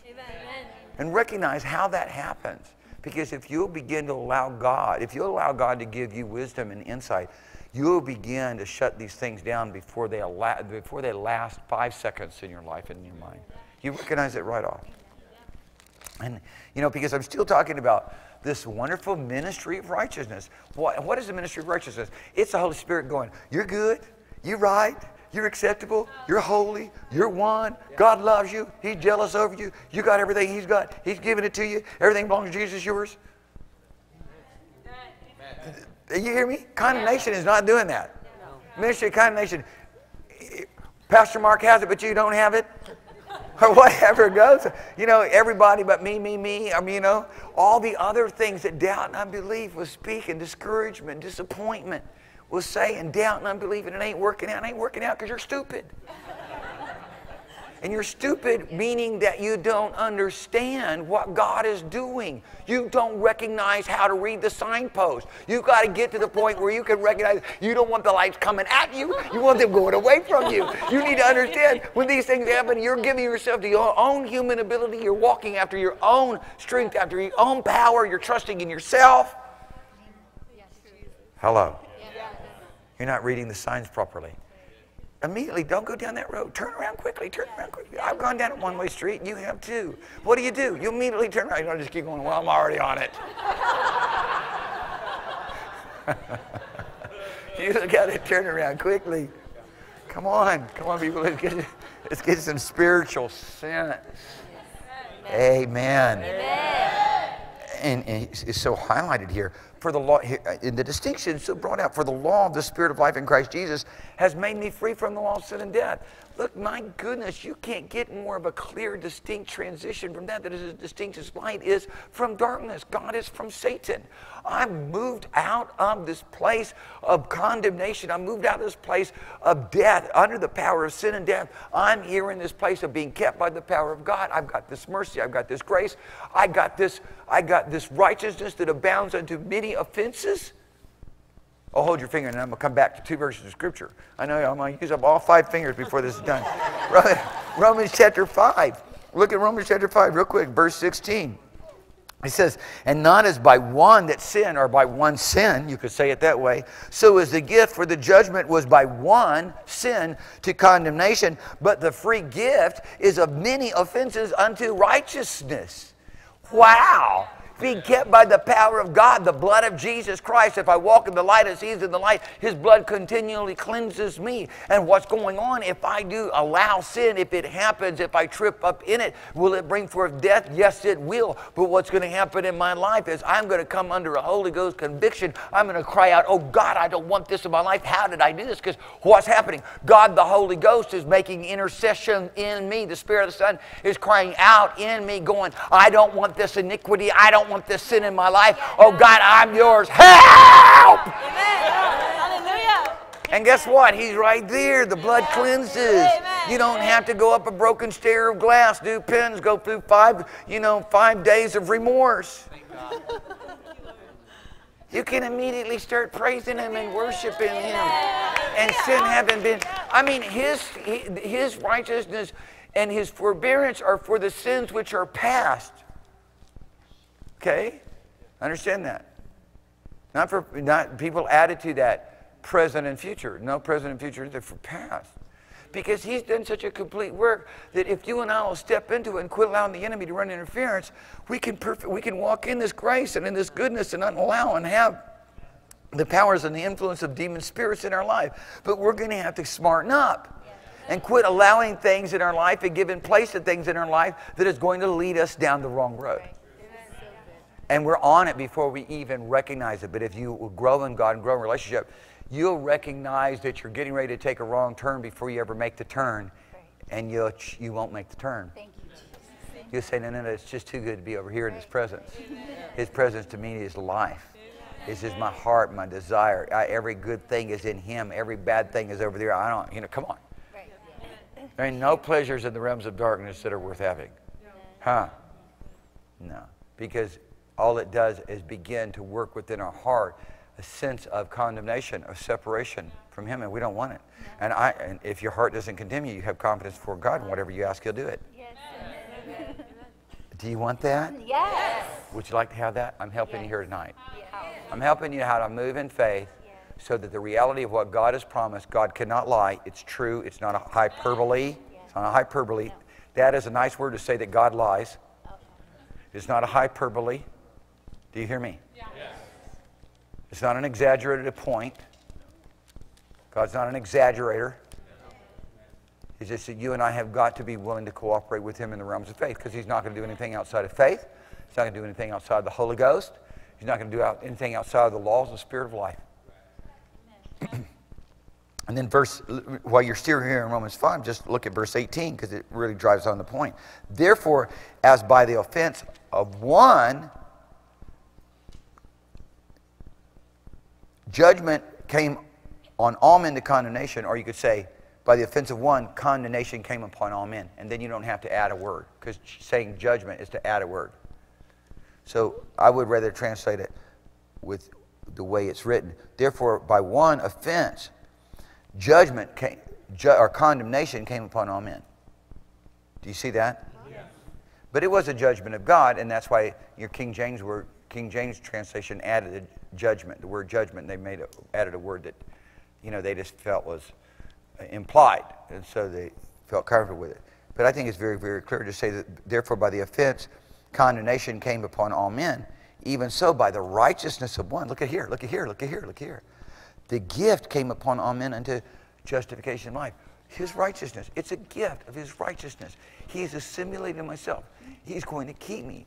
I'm, I'm going to walk in Him. I'm going to let. See, and this is where the breakdown comes. People say, "Oh, see, He's done it all for me. I don't have to do anything for myself. He's, he's, he's given this life, and it's imputed, and therefore, no matter what sin I do, I'm not under the law of sin and death, and so there is no judgment that is incurred upon the acts of sin."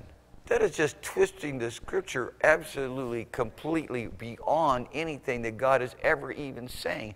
He's made it very clear that sin and ungodliness is not supposed to be in our life. And if it is our life, that there is a punishment for it. That is absolutely certain. That's absolutely clear. The reality is that God, in His goodness and His mercy, has provided a means of forgiveness if you confess it and you repent and you turn from it. If you harbor iniquity in your heart and you will not come into the light so that your deeds will be reproved and you're not submitting yourself to the authority of the church, Jesus said, Jesus said to his servants, he said, anyone sins you forgive, they're forgiven. If you retain their sins, their sins are retained.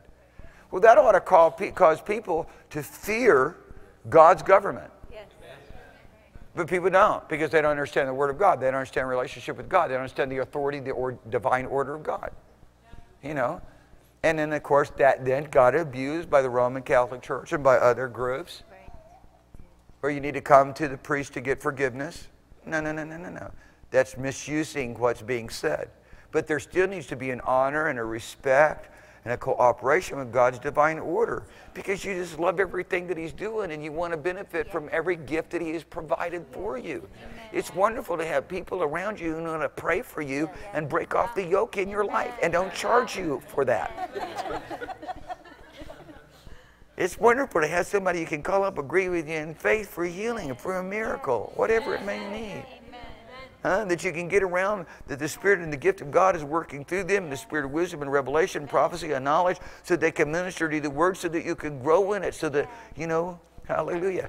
They, they, I know I want to be faithful at all times to my job description and continually give myself to prayer and the ministry of the word, so that you can benefit from that. And I'm not charging you. And you should be appreciative of it. You're appreciative of the doctor, and he charges you. You're appreciative of the lawyer, and he charges you. You're appreciative of the CPA, and he charges you.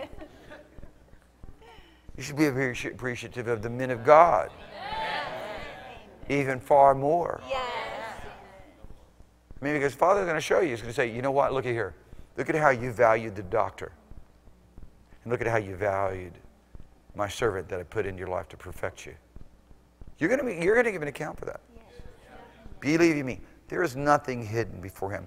And there's nothing that goes on in our life that we will not give an account for it before the judge of all. So we want to make sure that we're living in a consciousness to where that all of our deeds are wrought in God, that we're having them evaluated by Him. Are they right or are they wrong? And we're looking to Him for the strength and ability to get it right and not just ducking and hiding and shucking and jiving.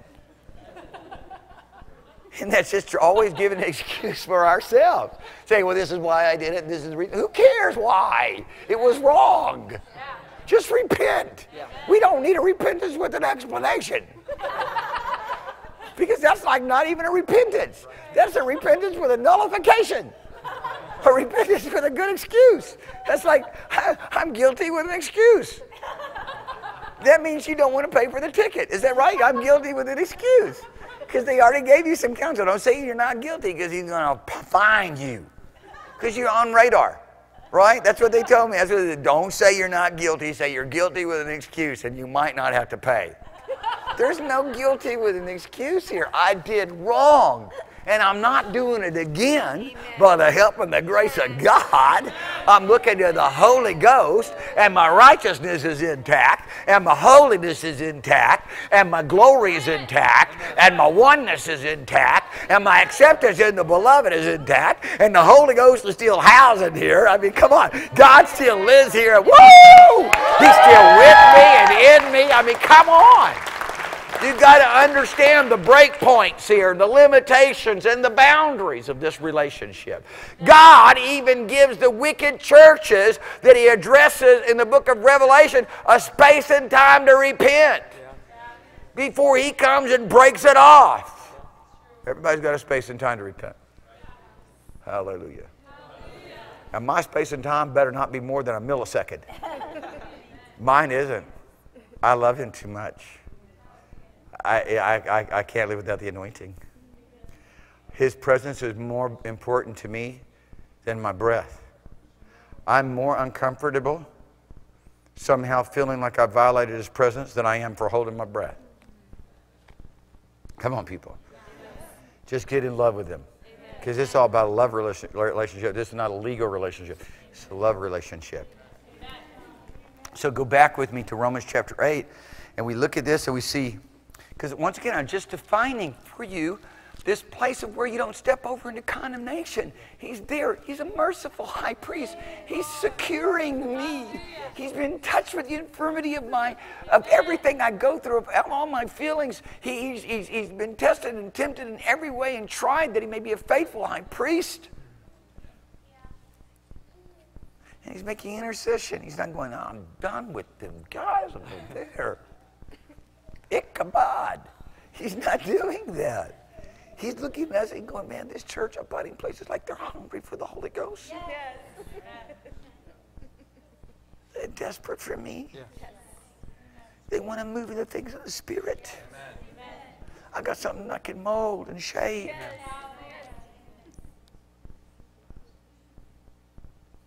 It's true. It's true. And, and people are always compromising with things that are not true. They're always compromising with lies. And they don't like the message and they think the message is too high and the bar is too high and it's too passionate, it's too intense. No, no, no, no, no, no, no. That's, you think it's that way because you're depending upon your own human effort and human ability.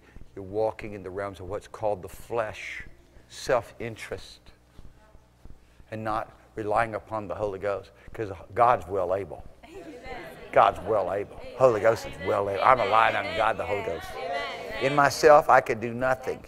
Without Him, I can do nothing. In Him, I can do it all. In Christ Jesus, I can do it all. I do all things through Him that strengthens me. Come on, think about it. That's how you break free from the condemnation thing.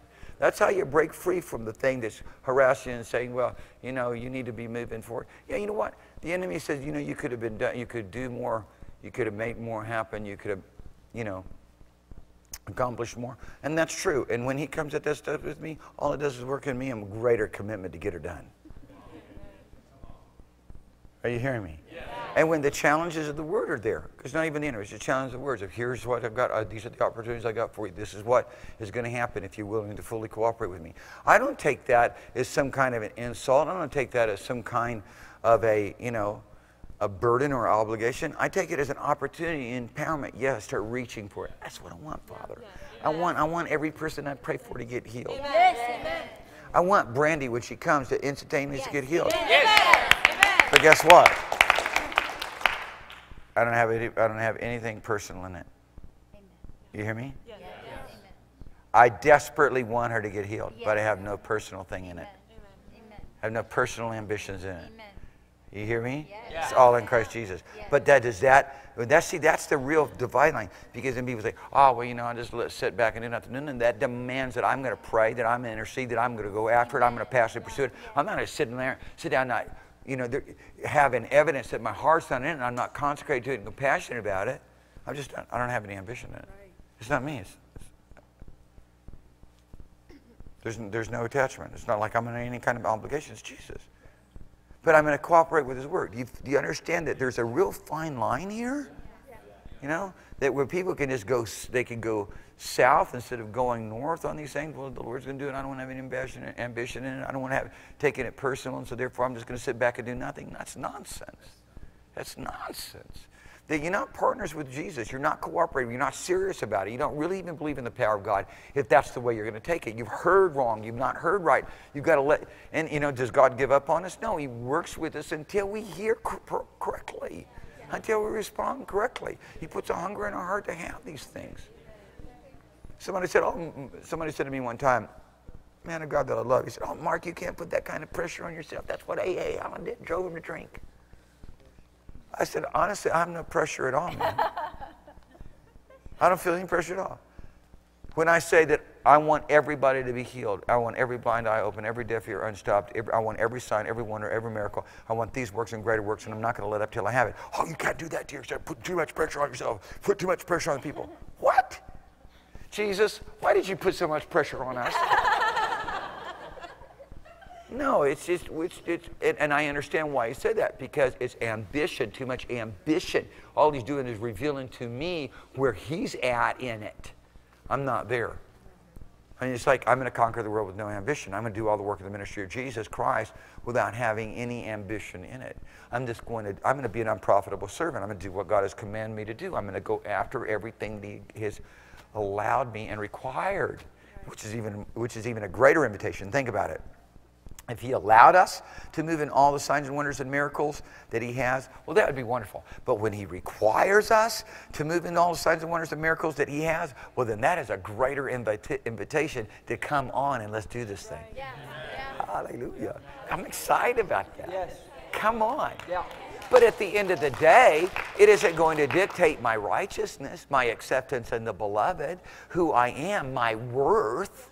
My value in the kingdom is not there. My value in the kingdom is in the blood of Jesus Yes. Christ, in the life of God Almighty, in the sacrifice of Golgotha, in the power of the resurrection, in that which He has done. He is justified. Who can condemn me? Who?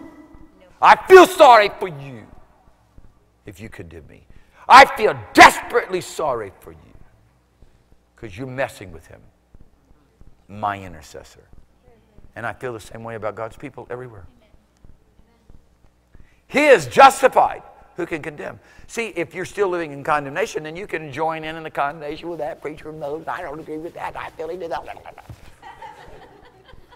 You know what I'm saying? And it's uglier than that. Because you all in condemnation, man. You living in condemnation. It's coming. That's what you're receiving. That's what you're given. But when you're not receiving that, you're not going to give it. And it doesn't allow. You're not allowed that ministry. You're, you're not pointing the finger of accusation, huh? Are you with me? Hallelujah. You're going to get this. I feel you getting this. I feel this happening. I feel this happening. Some of you like you staring at the brick wall, but I'm gonna tell you right now, pretty soon, you're pretty soon you're gonna bend down, you're gonna run right through that thing. Hallelujah. No, you're like staring at that wall. Can I breach this thing? I, I, can I breach it? Can I get through this thing? Yeah, you can. Run right through the thing. Hallelujah. So here I am. I understand my separation. I still understand my uniqueness. I understand my distinction. This is the ministry of righteousness. Look at verse 3. Verse 3 For what the law could not do, in that it depended upon, it was weak through its dependence upon human ability. It's just like Hagar. Paul, the same one who wrote, uh, and, this will help you, the same one who wrote Romans 8 3 is the same one who wrote Galatians chapter 4, verses, uh, verse 16. You know, when he, be, and, and, and, just go ahead and start at verse 7, when he begins to describe the difference between uh, Ishmael and Isaac, Hagar and Sarah, that which is after the flesh or the human ability, the effort to try to, human effort and, and schemes to try to bring about the promises of God versus the miracle, relying on the miracle. God's going to intervene and he's going to do this thing. Amen. Huh? So he says the, the law was weak because it depended upon human ability. But God sent his own son in the likeness of sinful flesh, and for sin condemned sin in the flesh. Hallelujah. Hallelujah. Said don't even belong here in the human realm. You know, for those people who are all confused about what flesh means, this is a very strange and odd scripture. I mean, people are talking about flesh nature, and this flesh and that flesh and the other flesh. I say, you don't really understand what Romans 8 3. You're really confused about Romans 8 3, aren't you? Because you would be. You got so many def- weird definitions of flesh. Try to give me an understanding of what Romans 8 3 does. says. And then many people, you get them to do that, they'll come over and they'll end up with the right definition of flesh when they read it right there. Hallelujah. Jesus in the flesh condemns sin in the flesh. Hallelujah. Uh, just think about that a little bit longer. that the righteousness of the law might someday come be fulfilled in me, that the righteousness of the law might be fulfilled in us, who, who not walk not after the flesh, but after the Spirit. And that which is a born of the Spirit is spirit. I once was flesh, I'm not flesh no longer. I'm, I'm not in the state of the human existence. I am of the Spirit. I belong to the Spirit. I see myself as being that which is born of God. I won't see myself any other way. Therefore, condemnation can't take me. I'm a child of God all the time. Now I'm free to walk in all that He's given. I'm not back and forth in prison in bondage to some mistaken identity. Hello. I'm born of the Spirit. I am Spirit. Yes. And, and then, of course, Paul repeats that in verse 9. Then he really makes it clear, even that much more of a clear distinction in, in this verse of scripture that I've been, you know, alluding to most of the night, verse 15. For we have not received the spirit of bondage again to fear, but we have received the spirit of adoption, whereby we cry, Abba, Father. And that's to say, God is my dad. I've been empowered by Him. Everything that God has, everything that belongs to Jesus, the Holy Spirit is transmitting it to me. He's revealing it to me. He's saying, It's yours. You're a part of this. You're my family. What I got is yours. It's yours. My stuff is yours. I did it all for you. I worked so hard and brought all this stuff to pass so you can have it. It's yours. Poor me. Poor me. Poor me. I don't know. Does God still love me? I don't know. I don't know. I mean, I heard people come in and listen to me preach and say, I don't even know if I'm saved after that. And I'm like, my goodness. I don't say this, but I'm thinking, you just told on yourself. You just told on yourself that you cannot hear the voice of the Spirit. You've been li- listening to lies. You've been listening to lies. And so you hear wrong. I'm not going to listen to lies. I'm of the truth. Amen. And I don't listen to the, I'm not listening to the spirit of a lie. I'm not listening to it. I'm not coming under condemnation even in the midst of someone preaching as hard as you can against sin and iniquity, God's wrath abides on it. It's not supposed to be allowed, not one moment of in our life. I'm not under condemnation. I'm going, amen. Yeah. Praise God. Preach it. Praise God. Somebody's got a hold of reality. And at the same time, I recognize who I am in God. I have no mistaken identity. I've been purchased by Him. I'm His. I'm His property. I, I, he's got. He's got the. He's got the. You know the deed, the trust deed on me. And hallelujah. And I got the guarantee from Him. Hallelujah. Ministry of righteousness. So go back to Romans chapter 3 with me, real quickly. The Lord just emphasizes this place of being this ministry of righteousness.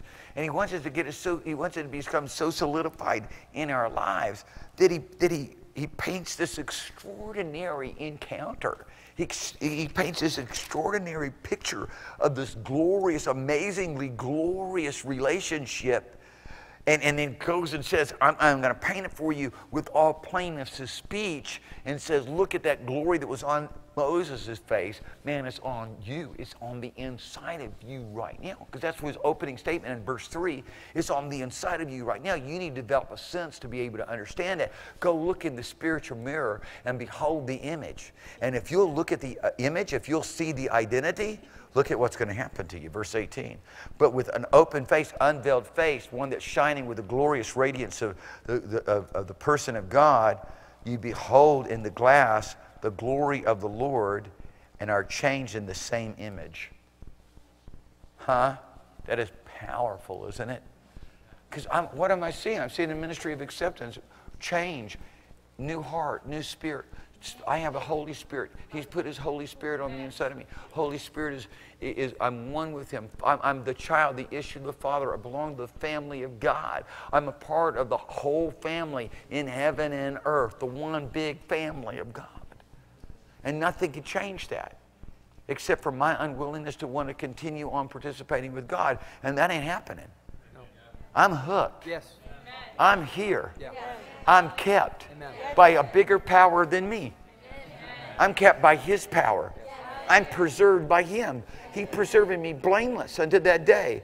He's keeping me unto that day, unreprovable, unrebukable. I mean, when you look at, and, I don't know how long I've been going. I mean, for me, it's like five minutes. So, you know, if it gets past midnight, let me know.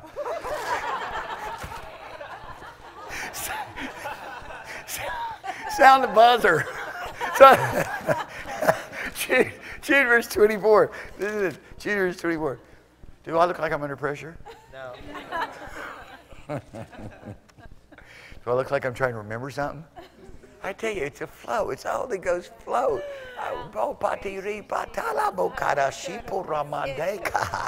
And I'm not going to get after the meeting and go, oh, did I do good? Did I do bad? What, what should have done different? I, I think I said that wrong. I promise you, I won't even allow that lying, condemning, self-serving realm of the demonic to influence me.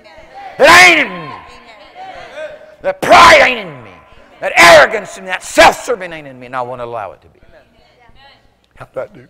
Oh, I should have done that. Oh, I wish I'd have done this. Oh, I should have said it this way. Oh, I could have said it that way. Oh, I wish there should have been more results here. More. Give me a break. That's the pressure that'll drive you to drinking. That's the pressure that will cause you to give up. I don't have that pressure. Come on, I'm getting prepared to just come on, raise the dead and take no credit. Come on. Yeah. Come, come on. Every miracle and be hid away in Jesus and want no want no gain from it. Until that's worked out, you can't move forward. You're always laying claim to something. You can't lay claim. You can't boast as though somehow you did it. Something of you. That's what. That's demonic. That's satanic. Worship me too. After all, God used me. Worship me. What? Give me some credit. Give me some honor. Give me some glory. Give me some value in it. Somebody said, "Oh, that was it." To me, said, "Oh, no, no, no, you know, this is amazing." I said, "It's all Jesus." Oh, but you're the vessel. yeah, that's it. It's all Jesus. Huh? You don't take a drink of water and go, "This is an amazing cup. this is an amazing." I'm drinking out of this cup. From now on, this is it.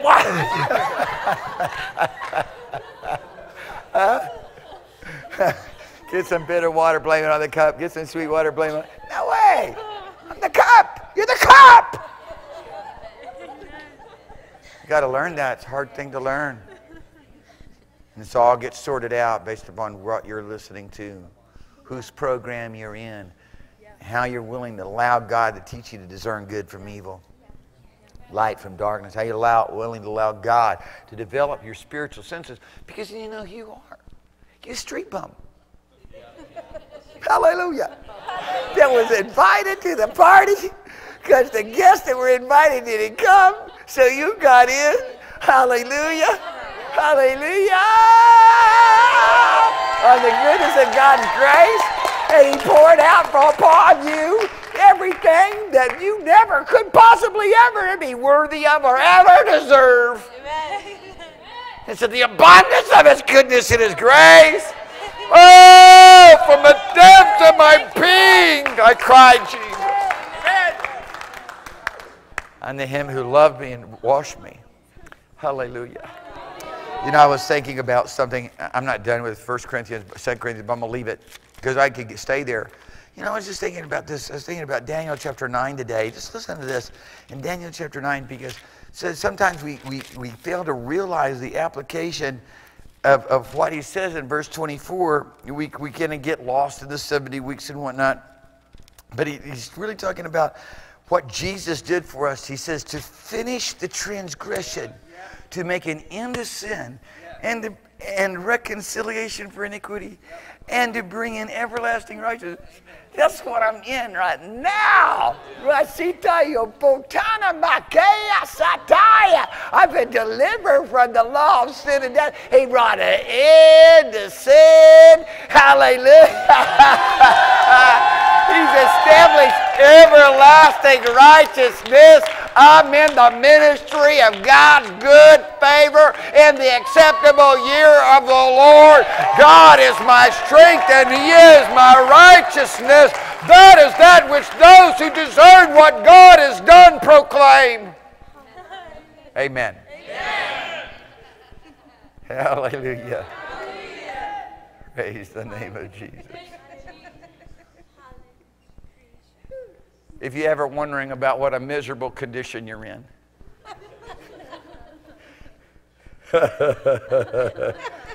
just, just memorize Hebrews 7.25. Just memorize it. He is able to save them to the uttermost that come unto him by Jesus Christ. I mean, my goodness, you can't get more of a promise from God. An absolute, certain promise to get it all done for you. Amen. From the guttermost to the uttermost. In his place of redemption, where the most vile is equally a candidate to the most righteous. And both have an opportunity to receive a gift that neither can ever attain to or earn the righteousness of God. Oh, I need to just sit here and do some calisthenics till you get it. do some dramatization of it because I'm telling you right now, most people do not get what I'm saying right now. You do not get it. You don't get it. And you just have to understand it. Conscious incompetence is a moment of great moving forward. It's a moment of great moving forward. It's like, and the neediness, oh God, I don't get it, help me. Because when you see it, all of a sudden, all your area for boasting is removed. And all your all the release of worshiping him and glorying in him. And my mother used to just sing a little song. Just to know I've been redeemed makes me feel good. All the value that I need is the value that he has given me freely. I find all of my pleasure there. I find all of my happiness there. I find all my value there. I found all my worth there in that which He's given, just to recognize the gift. Hallelujah. You know, I was reading something today that I wrote so many years ago, and I said, in, in, in this little thing that I wrote, I said, the Lord never even pointed out the, the, the woman's sin until she questioned the gift. Can you hear me? Yeah. The woman at the well, he never pointed out her sin until she questioned the gift. How can you give me this water? Ah, You've been married five times. Are you listening to me? He didn't point out the sin until she questioned the gift. Quit questioning the gift. Come on, just go ahead and receive. Just recognize who he is. There's an empowerment from God when we agree with him when we make it done, when we call it done, even though we can't see with our five senses necessarily where it's done, maybe we have evidence that says somehow that it's not everything that is described in the Word, but we elevate His Word above everything that we perceive and everything that we know in every other report. Who has believed the report of the Lord? To whom has the arm of the Lord been revealed? I'm going to elevate God's word beyond my understanding, beyond my senses. It is superior. The plenary of God's word that He breathed out of His own mouth concerning you and me. The one who created the vast expanse of an eternal universe spoke us into oneness with Himself. Oh, my, my, my. Just agree. Just agree. Hallelujah. Look at this verse of scripture here in, um, in just in verse ch- chapter 8, Romans chapter 8, verse 34. Please, let me just encourage you.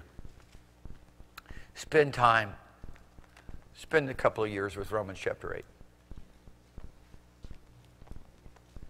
Spend a couple of years with Romans chapter 8. Do it. Change you. Because I promise you, spend a couple of years with Romans chapter 8 and you will have memorized it without trying. As you begin to just read over that verse and read over it again and say, What? What? And then let the Holy Spirit begin to enlighten you and bring all these other verses of Scripture. As you pray about it, you just lay it before the Lord. Lord, show me this. Reveal this to me. I want to understand this. I want to know this.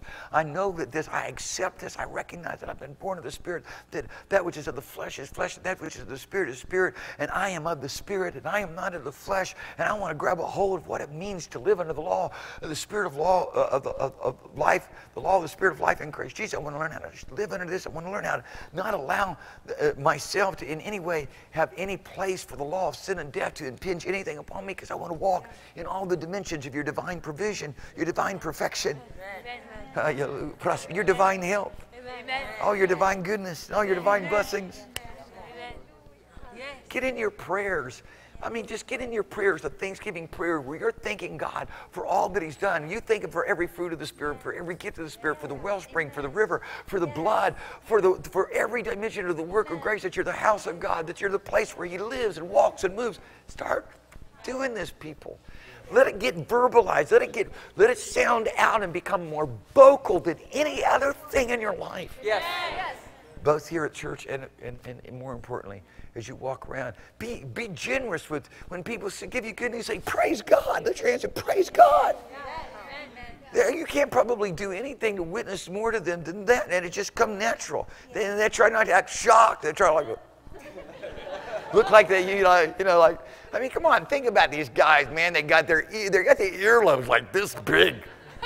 Yeah, that's embarrassing. Look, if they got enough gumption in their in their life, they have like earlobes that hang down to here. Surely you and I, come on, earlobes. I'm telling you, I saw some earlobes. They were like down here, like this. I kid you not.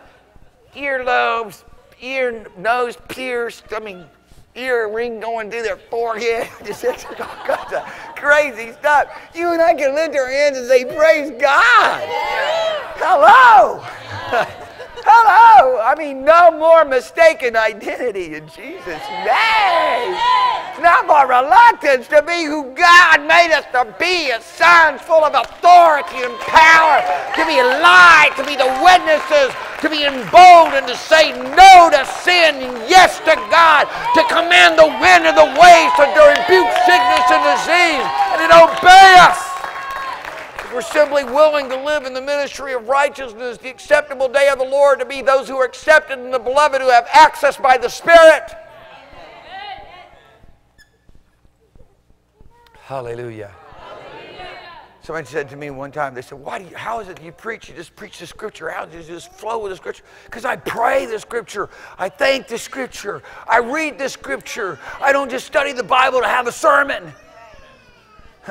It's a li- my lifeline. It's my daily food. It's my daily bread. It's how I'm washed. It's how I'm strengthened. It's how I'm empowered. It's God's word working effectually in me. It's living. It's powerful. It's spirit. It's life. Hallelujah. It's that which I was begotten by. Hallelujah. Live through, strengthened in. Hallelujah. Oh, thank you, Father, for the word. It's who Jesus is. Hallelujah. I want to know him. It's one thing to say, Lord, I want to see you. It's another thing to pursue him.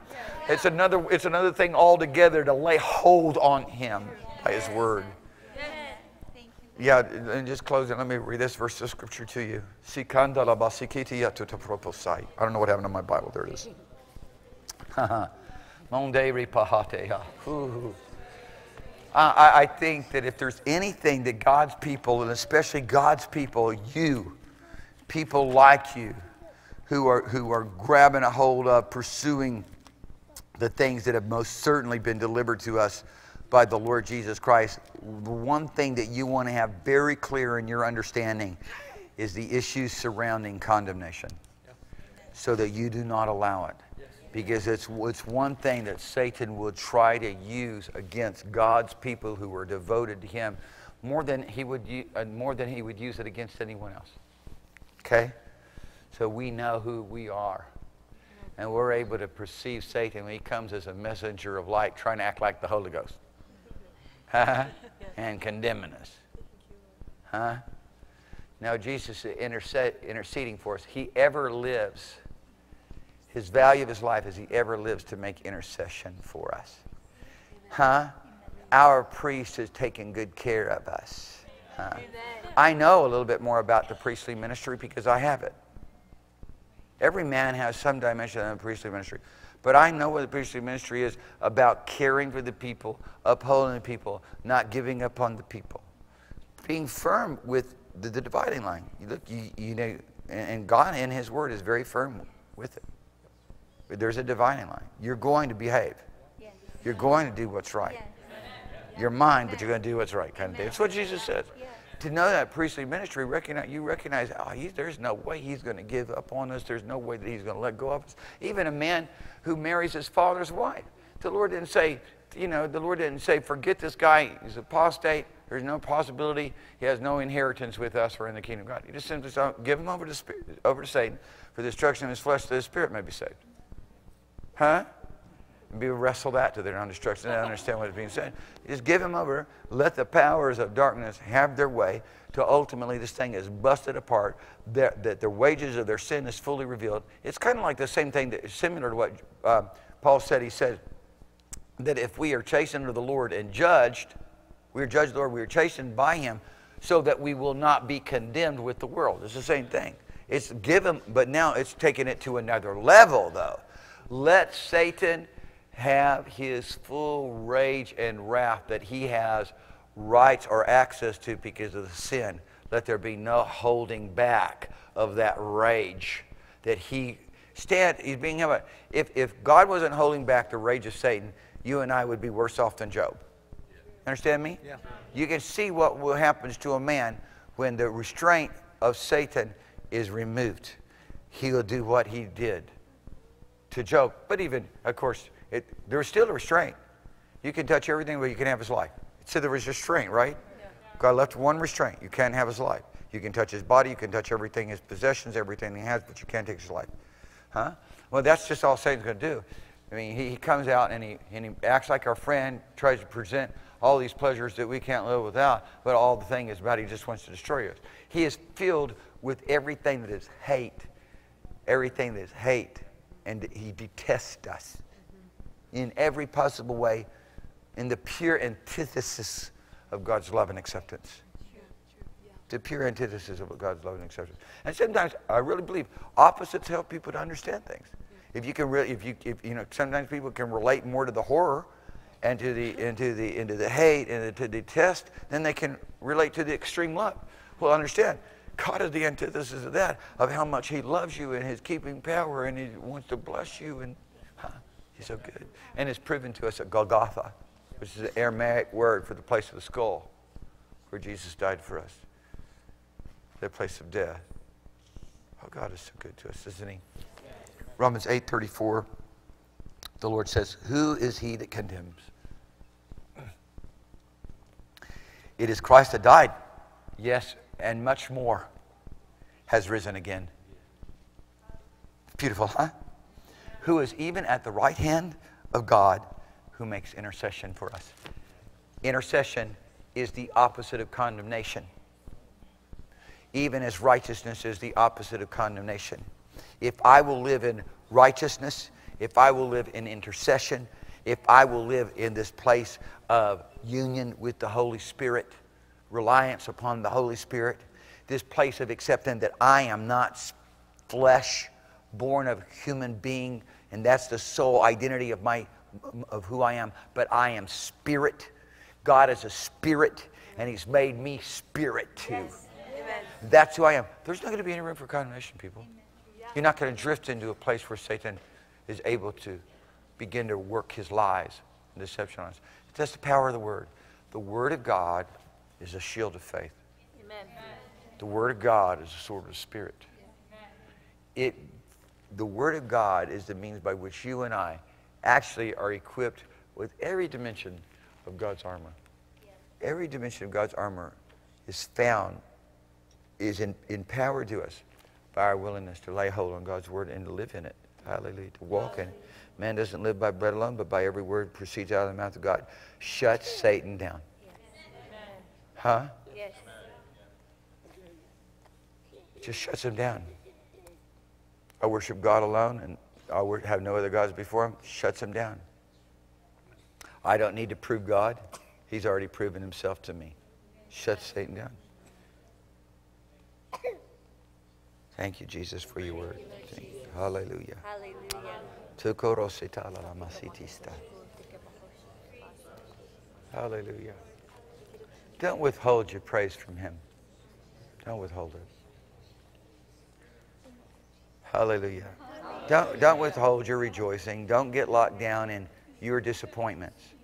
Your disappointments is fear and doubt and unbelief. Don't get locked down in it. Stop it. Can you tell yourself, stop it? Have you ever grabbed yourself by the ear and said, Listen to me, young man. Come here. Point your finger in your face and say, You're going to quit acting like this. I'm done with you. He that rules his, he that rules his own spirit is mightier than he that takes a city. Hallelujah. And then what God has done is something even more. He that rules his own spirit and submits his spirit to the Holy Spirit. Holy Ghost, I'm just going to do it with you. People, understand. If you get in a place, if you start moving with God in any kind of uh, any kind of authority, any kind of leadership, and you don't know how to live your life in Jesus, you're going to get beat up right, left, and center. My, I feel so sorry for you. I would resign from ministry if I were you, because you don't even know what you're dealing with. You got to find yourself hid away in Jesus, loving God all the time, praising Him, because you're never going to be able to move beyond the area of where you can't handle persecution. Can never move beyond. So you're just going to have to get away. You're going to have to. It can't be meaningful to you anymore. You can't allow the enemy to have his way in your life. And I want God wants to see every one of you guys begin to become equipped to handle the anointing. Okay? Because with every dimension of the anointing comes a greater bombardment. And I, I've, I have learned how to move in the anointing because I just learned how to give it all to God and care for nothing. I cast all my cares on Him. I just do what He says. You just simply do what He says. Hmm? Are you with me? Yeah. Every time boxer, it's the calf. The Lord says you need to get you need to give those calves to me. Lord, I give those calves to you. Now all the boxers are good. Everything, people. yeah. And sometimes, you know, we because we have to go through. That's a new thing in my life. Everything that comes in our life, we have to consecrate it. It's best to consecrate it right at the first. I'm going to tell you right now, if you understand, if you forget somehow or you don't fully consecrate it, and you understand how to have spiritual discernment, you'll recognize real sin when it's not consecrated. Is your, are your, is your life consecrated? Then you don't hold on to yourself anymore. Huh? It's not about you anymore. It's not about me, me, me. Give, give, give. Need, need, need. Amen. Hallelujah. Father, I thank you for the anointing of the Holy Spirit that has so filled us up with heaven's glory and the supply of your love and of your goodness that it's like rivers pouring us out of us to a dry and thirsty land of people that are needy. Hallelujah. Hallelujah. The people who have the people who have no life. Father, I pray that our lights will shine bright in the midst of this dark and sinful generation. Lord, I pray in the name of Jesus that everybody in this place will grab a hold of this opportunity that we have right now to agree with you and move with you so that your signs and wonders and your glories will, glory will be revealed in this world through our life in an unprecedented way as every person in this place begins to desire the spiritual. Live in your empowerment. No longer allow discouragement and intimidation and fear in any way. Everybody just lift your hands towards heaven. Lift your hands towards heaven. Hallelujah. Proshande. Hallelujah. Hallelujah. Prosa rabata karadeshte. Go ahead and get strengthened right now. In the name of Jesus Christ of Nazareth, I command you to be strengthened. Right now, if anything's been messing with you, holding you back, holding you down, in the name of Jesus is broken off of you. Watch it get broken off as you just praise Him, as you worship Him, as you just say, Thank you, Jesus. So thank you, Lord Jesus. Thank you for your mercy. Thank you for your love. Thank you for your redeeming power. Thank you for your ministry of righteousness. Thank you for your keeping power. Thank you, Father, for your so great provision in my life. Your so great a salvation in my life. Hallelujah. Rosto. Ibrebato riseri di bicando rumushiri mahara. Oh, oh, mendifrasata, mibristea. Mimbrandandanda labakosteya ha. Hallelujah. Disappointment has got to go. Sickness has got to go. Disease has got to go. Brokenness in, in, in, in, the, in things that, uh, that aren't supposed to be broken has got to go. Hallelujah. Hallelujah. But Rama, any kind of spirit of poverty's got to go. Hallelujah. Arabata. Any kind of condemnations have got to go. Huh? Wisdom, wisdom, insight, insight, revelation, wisdom, knowledge in the Lord. Hallelujah. Bora stronger now, strengthened by the Spirit built up in your most holy faith. Ishi ronande likaya. Helebura sato. Mambronde exele o romande urushira. Hallelujah. Hallelujah. Hallelujah. Hallelujah. Hallelujah. Hallelujah. You just give yourself like never before to participating with God's house being a house of praise and a house of prayer. Yes. Listen, people, you know, some of us are we're wrestling with their taxes right now, and you're like looking at the situation and going, my goodness gracious, all these taxes that we've got to pay. What are we going to do? You're looking at it wrong. You're even going, praise God, I got to pay more taxes than I've ever had to pay in my life. Look at the blessing of the Lord. Come on, people, let's get this thing right. Hello. Hello.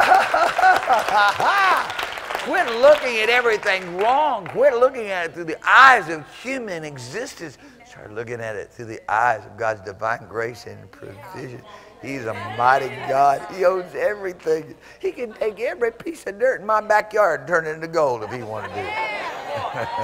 he can take the gravel in my driveway and make every one of them a 10 carat diamond. I mean, I tell you, we are just well provided for. The more you'll acknowledge it, the more you'll agree with God in it.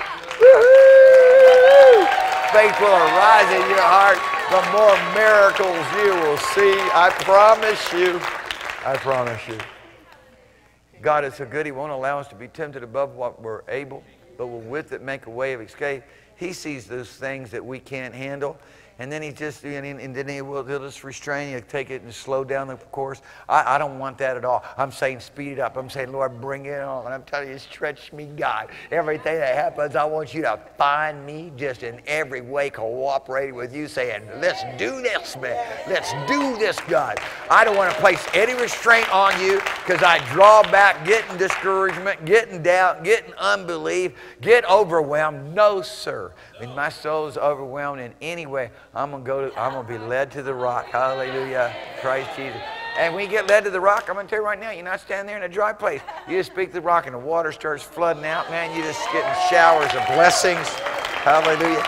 You're drinking, hallelujah, of heaven divine.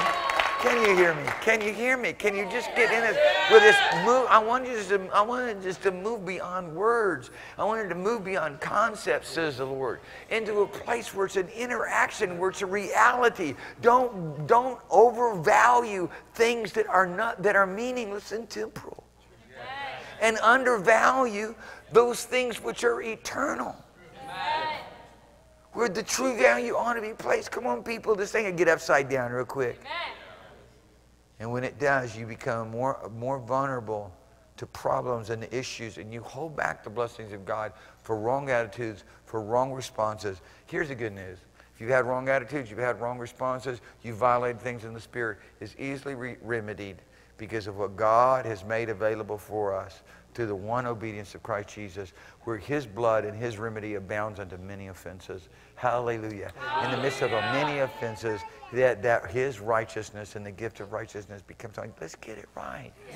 Let's just do, let's just do what God's just to do. Quit being frustrated. Quit being frustrated. Obey God. Hallelujah. Quit acting like God's coming up short on the program, because he's not. He's not.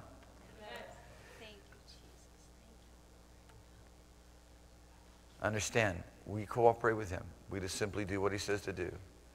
We, un, we release. We unleash, as it were, all the blessings and the promises of God in our life. Tonight, just, if I can just get anything across to you, God has promised to keep you, to preserve you, to perfect you, to help you, to empower you, to watch over you. His promises of preserving our life in Him are more vast and more innumerable than any other single promises. Don't doubt Him for a minute. Don't doubt it. Start living in a place of praise and thanksgiving for all that He's done. Amen. Everybody stand with me. Hallelujah. Praise the name of Jesus. Praise the name of Jesus. Praise the name of Jesus. Lord, you're my rock. You're my fortress. You're my deliverer. In you will I trust. Praise the name of Jesus. Let's just live it. You're my rock. You're my fortress. You're my deliverer, and you will I trust. I praise the name of Jesus. I praise the name of Jesus. I praise the name of Jesus. Oh, you're my rock. Lord, you're my fortress. You're my deliverer, and you will I trust. Praise the name of Jesus.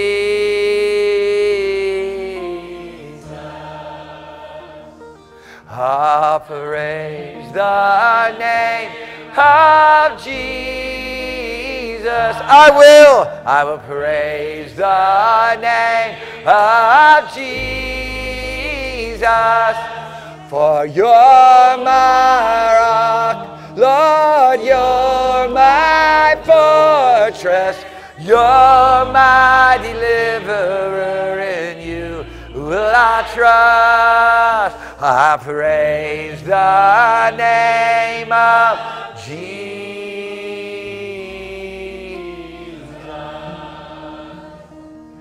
Lord, you're my rock. You're my fortress. You're my deliverer. In you will I trust. I will praise the name of Jesus.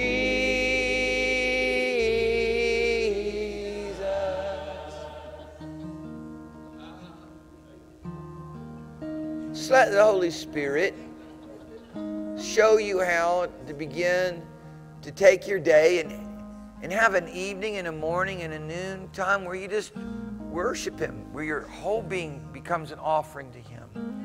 Understand, God will supply you with strength and build you up in the Holy Ghost so that all this other nonsense doesn't attach itself to your spirit and clog you up like a Philistine clogging up Isaac's wells.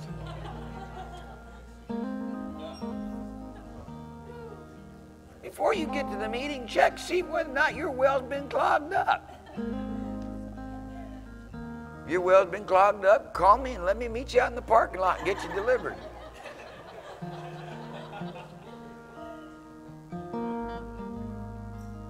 Let God's house become a house of prayer.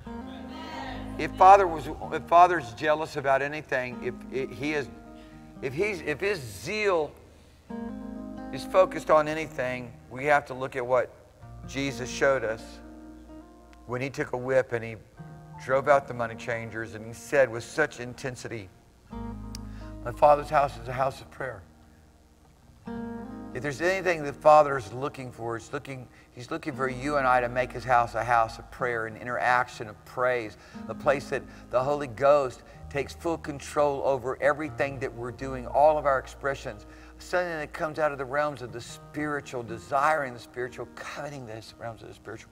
Listen, this Friday night at 7 o'clock, we're going to do a School of Spirit.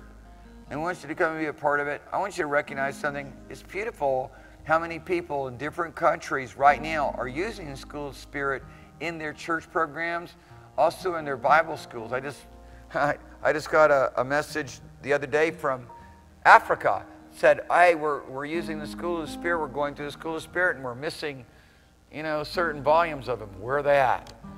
I called up Kate, and, you know, he said, well, we're missing some of them. We don't know what's happened to them. But we're just going to keep making more. And you know, you get to participate with that. When you're coming in with a hungry heart, you're coming in with a passion to become a student of the Holy Ghost with a greater, with a greater commitment to moving in Him and, and following Him and doing everything His way. Not some things His way. Everything. Everything.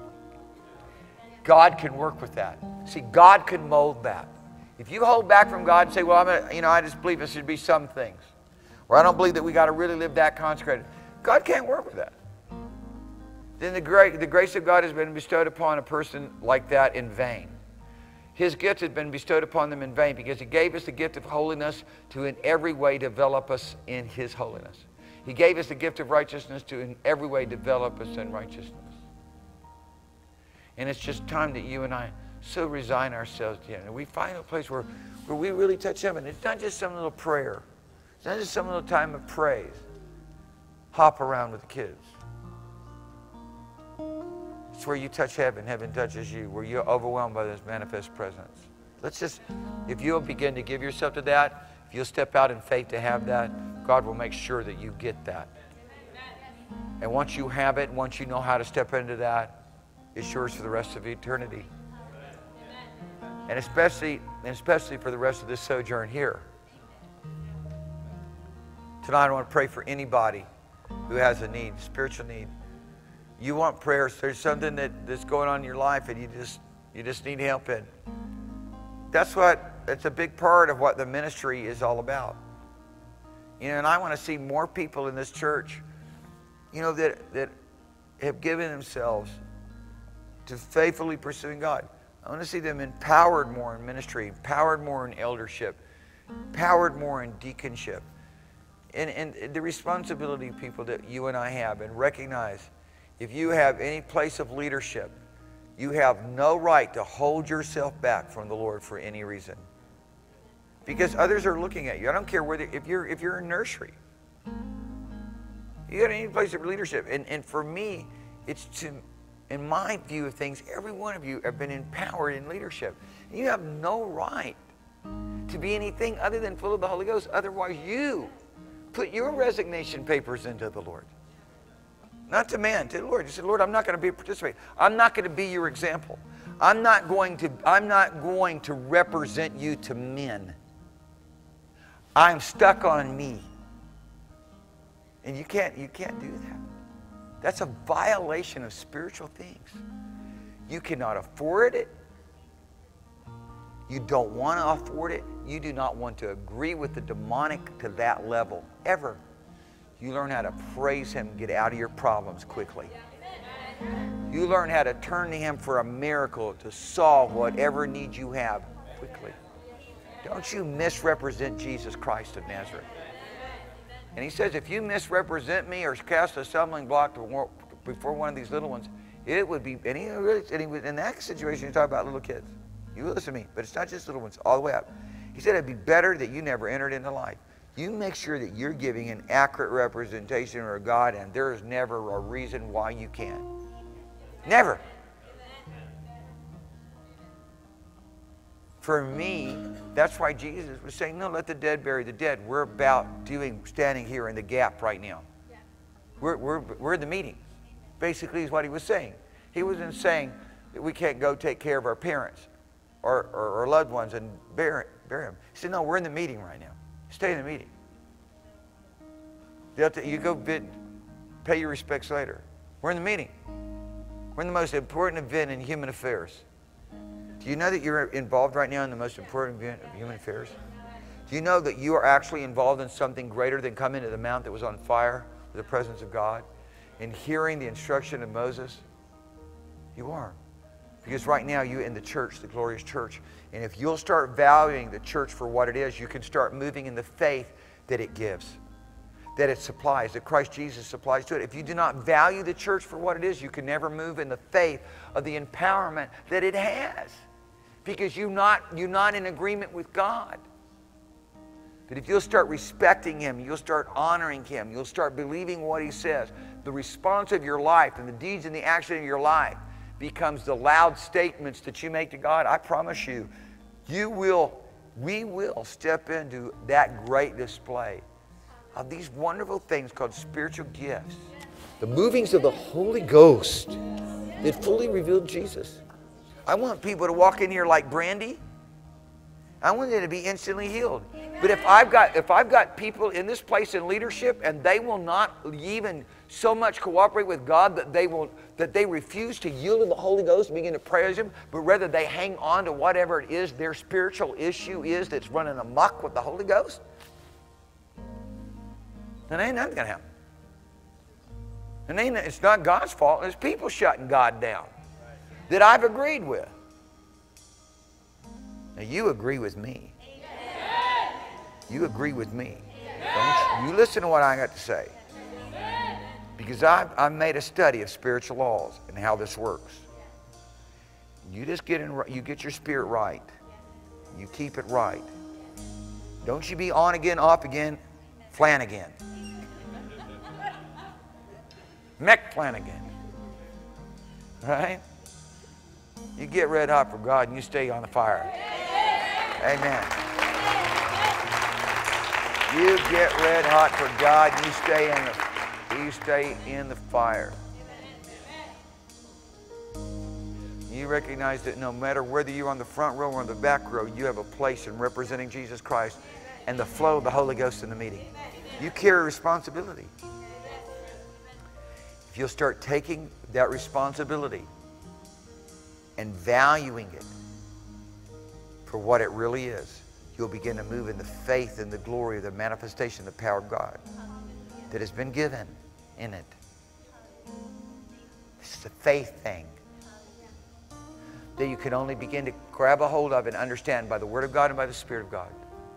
The Word of God shows you, and you say, the Word of God shows us things like miracles, demonstration of the Holy Ghost, the revelation of Jesus in our midst. And then we go, oh, I want that. And then the Holy Spirit hears you in the cry of your heart, oh, I want that. And then he begins to show you how it works and empowers you and I to move in it. Satan comes out to resist us, to try to run interference. But that's where we that are that much more resolved in God, to submit ourselves to God and resist Satan and recognize when it's his lies and his stuff. I'm going to tell you right now if a problem happens in your life and it takes you out, then all that has been proven to you is that you never gave that to God. You are in control of it, and therefore that's why you're getting the results that you have. And if you get wise enough in God to quit being your own God, your own master, and you turn it over to God, He'll fix it in a day. All that is event, all those events are proving you haven't turned it over to God. Give me them calves. Huh? Give me those objects. Give me that situation. Give me those children. Give me those loved ones. Give me that job. Whatever the situation may be, it sets you off course, gets you out of sorts. Give it to Jesus. Cast all your cares upon him, for he cares for you. Humble yourself under the mighty hand of God. What does that mean? That means I'm going through a very difficult situation that looks like God's not here. God says, humble yourself under my hand. Recognize that it's me. And that I'm here shaping you and molding you, and I'm in control of your life. I'm jealous over you, and I love you. You humble yourself to me, and you surrender and submit it to me, and I'll exalt you. I'll promote you. You fight it. You get over in doubt and unbelief and fear and discouragement. You ain't to get no promotion.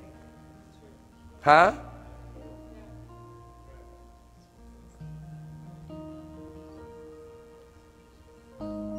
You let the Holy Spirit tame you. You let the Holy Spirit spank you. You let the Holy Spirit mold you and shape you. Hallelujah. That in every area of your life, your response to the Father is the response of Jesus to the Father that we see in the four Gospels. Because that's what the Holy Ghost is doing. And all the time and all the way through it, you're the beloved of the Lord. You're the dear children of God. The whole time. To the spankings, to the corrections, to the being on hold, through the promotions.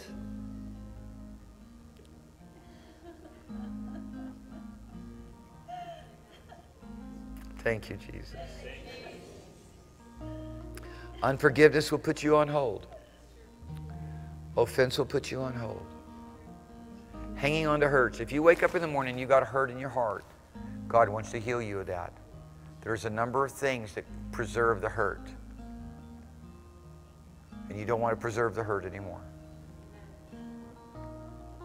You need to wake up in your heart with joy and a dance and a delight and a celebration. Because you're living in the glorious liberty of the sons of God, carefree. Because you've given all of your life and everything that you have and all that you possess to the Father. And in that relationship, Father will promote you and make you great. Because if what little you have is His, then the abundance that He wants to give you will be His too. If what little you have is yours, then the abundance that He would give to you will ruin you. Ruin. Father will not allow you to be tempted above what you're able. He loves you too much. He just keep you small. He keep you little. He keep you insignificant. But let there be a passionate cry to say, oh, we know that Father needs laborers. He needs those who will go with him all the way. He needs people that he can promote. And you're willing to say, send the fire. I told you, how many times have I told you? You get around here and start saying, send the fire. Then all of a sudden you start getting hit right, left, and center and act like, what's going on now? Now, you cried out for the fire. Hello. Let it burn. Shine a floodlight of heaven upon my soul, oh God. And, and then and then it starts happening. Then it starts happening. Floodlights now shining, and you're going, ah! You asked for it. Now you're supposed to go, yes, Lord. Expose it, expose it. Yep. Bring it out. Yep. Yes. Okay. Yeah, I got it now. I can see that plane now. I go, woohoo!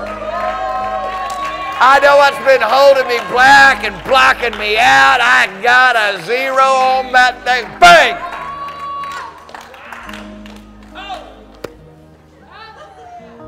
No longer exist. I renounce it. When the Lord exposes something, renounce it. I renounce it. I say it will not be in my life anymore. I will not yield my members, my emotions, my desires, my affections. I will not yield any part of my being to those things anymore. God, I am yours virtuously. I'm not going to be an adulterer. Here, James, you adulterers and adulteresses. Know ye not that friendship with the world is an act of hostility against God? That should cause everybody to sit up, shouldn't it? And you say, Lord, shine a floodlight upon my show. So, and he does, and he points it out. Don't act like something weird's going on. You say send the fire, and things start boiling around you, huh? Don't act like something weird's going on. Because before long, you're going to be dancing in the fire.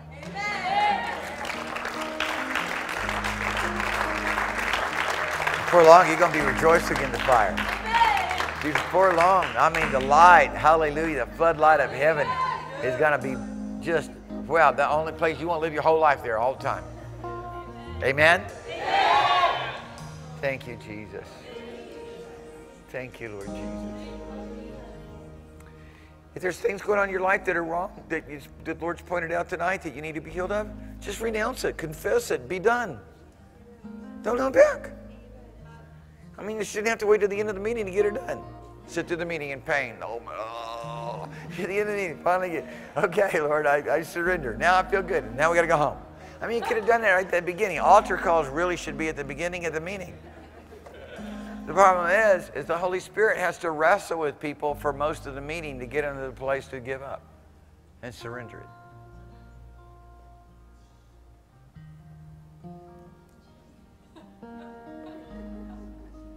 Say, we are the people of the Holy Ghost. We are the people of the Holy Ghost. We are the people of the Spirit. We are the people of the Spirit.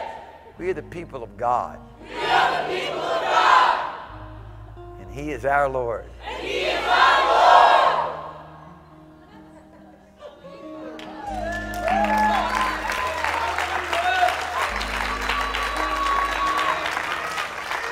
That was, that was Holy Ghost. That was the Holy Ghost shout there. That was, Holy Ghost. that was from the Spirit.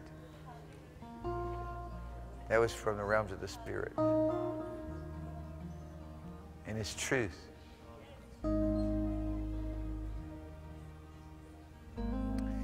Anybody in the place tonight, you want prayer for anything, I'm here to pray with you and for you.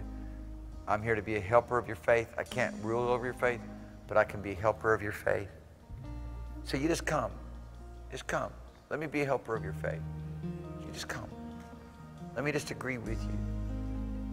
You know, one can put a thousand to flight, two can put 10,000 to flight. Huh? That's the power, what the Lord's saying, just the power of agreement. We disagree. We say, we're not going to have this thing anymore. We're not having the uproar in the house anymore. We're not having it. We're not having the conflict in relationship anymore. We're not having strife. We're not holding on to things. I'm not going to hold on to it. I'll give it to the Lord. If there's anything that I recognize in my life that brought a transition of maturity in my life is where I was quickly know, quickly to release things and not hold on to them, but to give them to the Lord. Lord, it's yours. It's yours. I'm yours. I'm going to go back to praise Him. I got interrupted there with a bad thought. trying to figure something out for myself, trying to work it out, trying to make, bring a solution, trying to provide an answer. I've learned that Lord, the Lord wants is generous and He wants to bless us richly. Richly. He gives without restraint, abundantly. So Lord to say, listen, I'm going to give you a little trickling stream until you deserve a river. this God's good. I'm going to promote you from the status of Gentile to Jew until you can deserve to be elevated into the place of angelic realm. And then I'm going to promote you over into, once you have qualified, to oneness with me. He just doesn't do that. God is so good. Can you just reach out? Can you just reach out and grab a hold of it? And recognize that the gospel is the word of Christ Jesus being spoken to you to assimilate you into himself. Mm. Masilion dombro sitana muliana mandela. Speak, O Lord. Speak, O Lord, and cause my ears to hear and my heart to hearken unto you. Speak, O God. Hallelujah. Halabodostiri manast.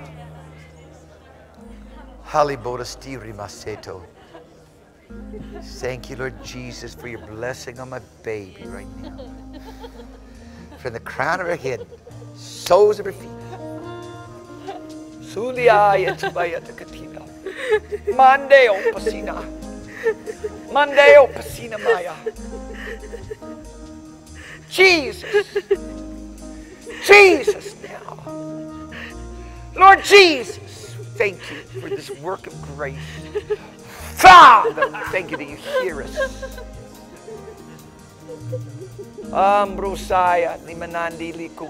Ashili. Oh, delight yourself in the Lord. Ah, delight yourself in the Lord and make him your praise and your boast and the joy and rejoice and make him your dance and your song. And watch how he then abundantly supplies. Watch how he's free then to give to you all those blessings ha, that your heart desires, to give you all that he has promised. May Merisitala. In the name of Jesus Christ, I speak peace into your house, to your home. Satan, take your filthy hands off the property of God in the house of Anthony Wiggins. In the name of Jesus Christ of Nazareth, right now. Hallelujah. Ojirina jotane ishikana. Luristane me atuya. Father, thank you for your blessing on your servant, for the promotion from above. Thank you, Father God, that you bring everything into your divine order and you make his way perfect in all that he has, oh God. A testimony of your abundance, of your abundant supply. Oshinamonte aropohote ishilekato. Oh God, we thank you for the things of the riches of the Spirit. Oh God, that translates into every good thing. Isholomonde arobotaya lamoshipena. Up from the crown of your servant's head into the soles of his feet. Spirit, soul, and body in the name of Jesus. Thank you, God. Thank you, Father. Do this work now.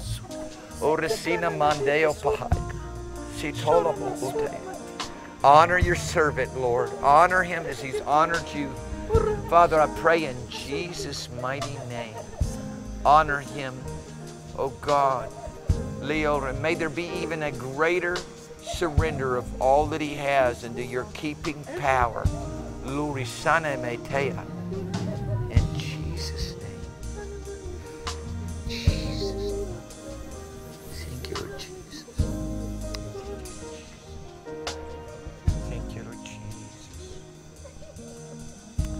Oh, si mandea go Lift your hands towards heaven. Jesus. Jesus. Ah. Amonde kinate itiliatva. O stiritata rediti. Abravatas. Umbandalist. Umbandalist.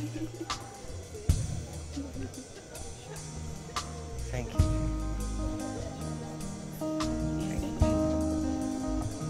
Confidence, boldness, assurance in the faith.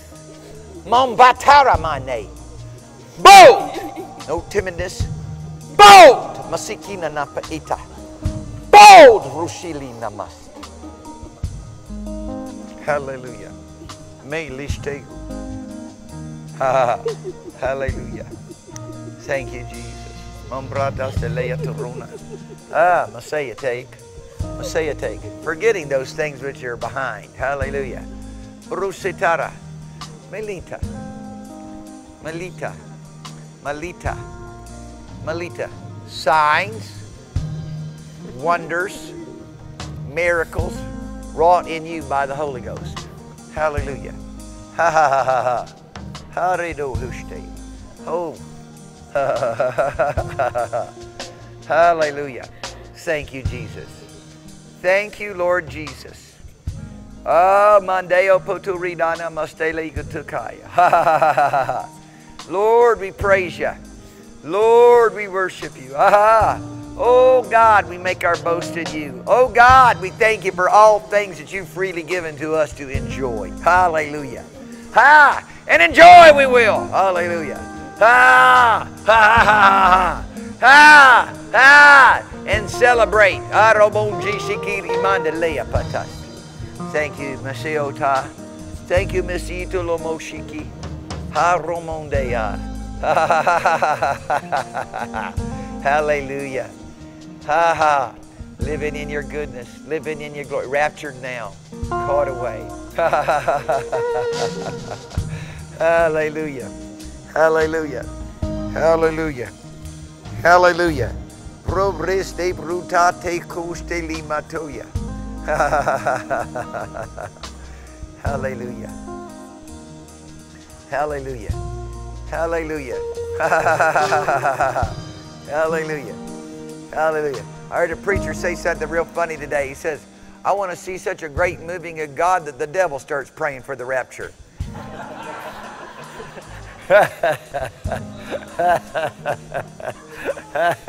Hallelujah. Let your hands towards heaven now. Just give everything to the Lord. Ah, God's a great big God. Hallelujah. Long I can hear him telling you, give me the calves. Hallelujah. Give it to him. He says it, give it to him. So you say, okay, Lord, they're yours. Yeah, there you go. There you go. Hallelujah. Mombrosate erishano ekleota. Hallelujah. Yeah, that's right, Lord. We just worship you. We worship you. Hallelujah. It's by your keeping power, not by the arm of flesh, by the mighty working of your spirit. Father, we just thank you for all the wonderful and the good things. Hallelujah. For the ability to see all the good things. Hallelujah. Hallelujah. The ability to delight in you. Ah, the ability to lay hold on the promises. Hallelujah. Ah, the ability to praise in the midst of the conflict. Oh, Lord, the ability to delight ourselves in you when it seems like everything is just breaking in on us. The ability to rejoice and dance and praise when it looks like every all hell's breaking loose. Oh God, when there's no calf in the stall, no fruit on the vine, we're laughing, jumping around, dancing, getting happy, saying, Whoa, things are getting good now. Hallelujah. Hallelujah. the fire of Holy Ghost is on you. Hallelujah. Satarabo kanchata. Papate frasita yalahota mania. Sutaroto, Isataroto, Isataroto. Basate kiliabakada kea tarana dopo sitara. And the Lord will bring it to pass. Least, Leia Haramoya, Inamaste Renee. Oh yeah, oh yeah, oh yeah, oh yeah, oh yeah, oh yeah. We can't fix nothing. Ah, but as we praise the Lord, Father creates new things. Hallelujah. Causes things to spring up that we're not, makes the wilderness and the desert a fruitful garden of Eden. Hallelujah. Puts the enemy to flight. Just sets ambushes for the whole armies that come out against us. As we delight ourselves in God, commune with Him, give thanks for all that He's done. No more condemnation. There is therefore now no more condemnation. That's what God says. That's what I say. I'm not going to allow it, and He's not going to allow it. So things are going to get good from here on in. Hallelujah. Strengthened by the Spirit. Strengthened!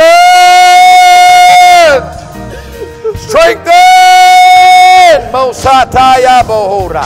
Strengthened in the Spirit to move in the power of God. The power of the Holy Ghost. People talking about the power of the devil. Go watch out, man. People talking the power of this and the power that watch out power. God's about to be released through somebody. Blessed. Blessed. Uh, blessed. I bless you right now in the name of Jesus Christ of Nazareth to lay hold on all the good favor of God, to look to, for God's miracles and signs and wonders, and don't you allow to be compromised in the name of Jesus. Lay hold on Him, obey God, and watch the blessings of God flow. Obey God and watch what God will do. Oh, Obey God and watch what His blessings will begin to overtake you. Hallelujah. the law demanded perfect obedience. Curse is demanded does not continue in all the works of the law. See, the law demanded perfect obedience. You know that? The Holy Ghost supplies it. Hallelujah. All we got to learn how to do is go with Him. Hallelujah. Hallelujah. Hallelujah. Hallelujah. Hallelujah. Hallelujah. Hallelujah. Hallelujah. Hallelujah. Hallelujah. Hallelujah. Hallelujah. Hallelujah. Isn't it good to be in a revival church? Moving power of God church. Isn't it good? Hallelujah. Because many are the afflictions of the righteous, but the Lord delivers us from them all. Satan comes out everywhere. In this world, you have tribulation. Be good cheer. I've overcome. Hallelujah. I've overcome the world. I just, come on, that's why I just hop over into the realms of Jesus. Hop over into the realms of Jesus. Hallelujah. Mon ruseto ibrina ejexto itano irishando ikala merite shileina. Now, Father, this thing that Casey's about to do, it's a good thing. And so, Lord, we ask you to bless it. We ask you to put your favor on it. Supernatural provision. God, supernatural aid. Oh, Lord, come alongside of her and make it ragingly successful in the name of Jesus. Hallelujah. Ragingly successful if his one life has changed, one soul is delivered. That's ragingly successful. Hallelujah. Hallelujah. Thank you, Jesus. Thank you, mighty God. Oh, and the way that you're going to grow and the way that you're going to develop. Hallelujah. And the way the Father is going to prepare you unto every good work and word and every good deed. Hallelujah. The way He's going to cause you to mature, supply those things of the Spirit through you because you learn how to move with Him. When we learn God's Word and we are willing to obey it and do it, we learn how to move in the Holy Ghost and move with the Holy Ghost. And that's where you get supernatural results. Ah, hallelujah. Hallelujah. Thank you, Lord Jesus. Thank you, Jesus. Sitoya moripo. Arizona, in the name of Jesus, I command the blessing of God, the blessing of the Holy Spirit on you. Hey, look over here. Look over here. In the name of Jesus, joy in the house. Joy and peace where there once was restlessness. Want to go run and play with brother? Huh? You're all, all sedated when you didn't feel well. Now you feel better. You want to run around the house. Hallelujah. Praise God. Well, look at that. For the good thing, look how the Lord Jesus healed them. Huh? They're not all sick and fussy from being sick. Now they all fussy because they want to run around. Well, in the name of Jesus, obey. Spirit of obedience in Jesus' name. Amen.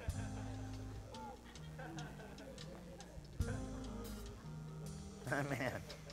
There's only one way to handle the program. Huh? Prayer and praise. Amen. Huh? It's a mo- every time every time the kids are out of sorts, running around, getting a little bit aggravating, it's time to pray and intercede for them. Huh? Because it ain't nothing compared to what's going on when they're teenagers. You're like wishing for the day of the wiggle worm. While the wiggle worm's wiggling, you're praying interceding that he's going to walk in the Spirit, be kept by the power of God. Hallelujah. Uh, be filled with the Holy Ghost, not miss a beat in the things of, of heaven. Huh? Powers of darkness ain't going to be able to touch him. Hey, little mister. Hey, little mister. We love you. We love you. We love you. Are your eyes blue? Are those blue or green? Huh? Is that your nose?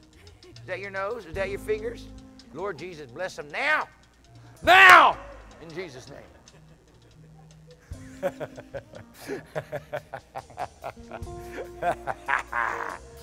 Shili. Hallelujah. Hey, how are you guys doing over here? Thank you, Jesus. Well done. Well done.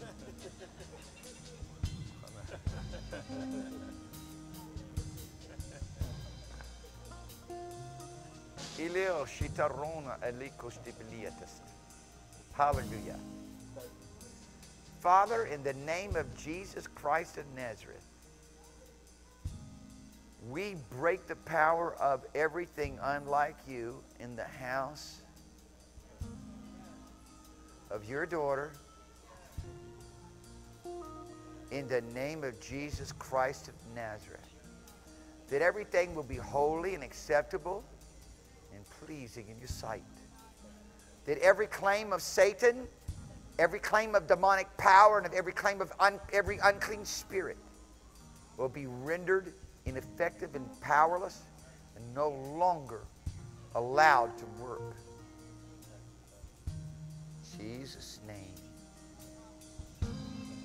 In the name of Jesus. Jesus'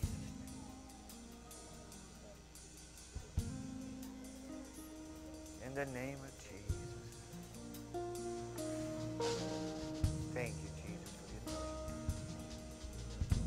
Thank you, Lord Jesus, for the anointing. Oh, Lord, thank you. that You put a watch on our mouth and that you keep the door of our lips. Oh, Lord, that all of our utterances, oh God, are in you. Oh, Lord, that all of our meditations, Father, and all of our delights are found in the working of the Holy Ghost. Hallelujah. Strengthened by the Spirit now. In Jesus' name, you be strengthened by the Holy Ghost. Hallelujah. Nombro say, Hallelujah. Hallelujah. Hallelujah. For the cross. Hallelujah. Hallelujah. It will never suffer loss. Thank you, Jesus, that you are paying attention to every detail about our lives. And Father, that you have, in your mercy and your grace, provided us healing, provision for every area of our need. And that, Lord, you work this miracle for your daughter tonight. That she steps into a greater dimension of the glorious liberty of the sons of God. The joy, the pleasure, the abundance of your life and of your goodness. Live in it. Living it and living it. Lord, you're amazing.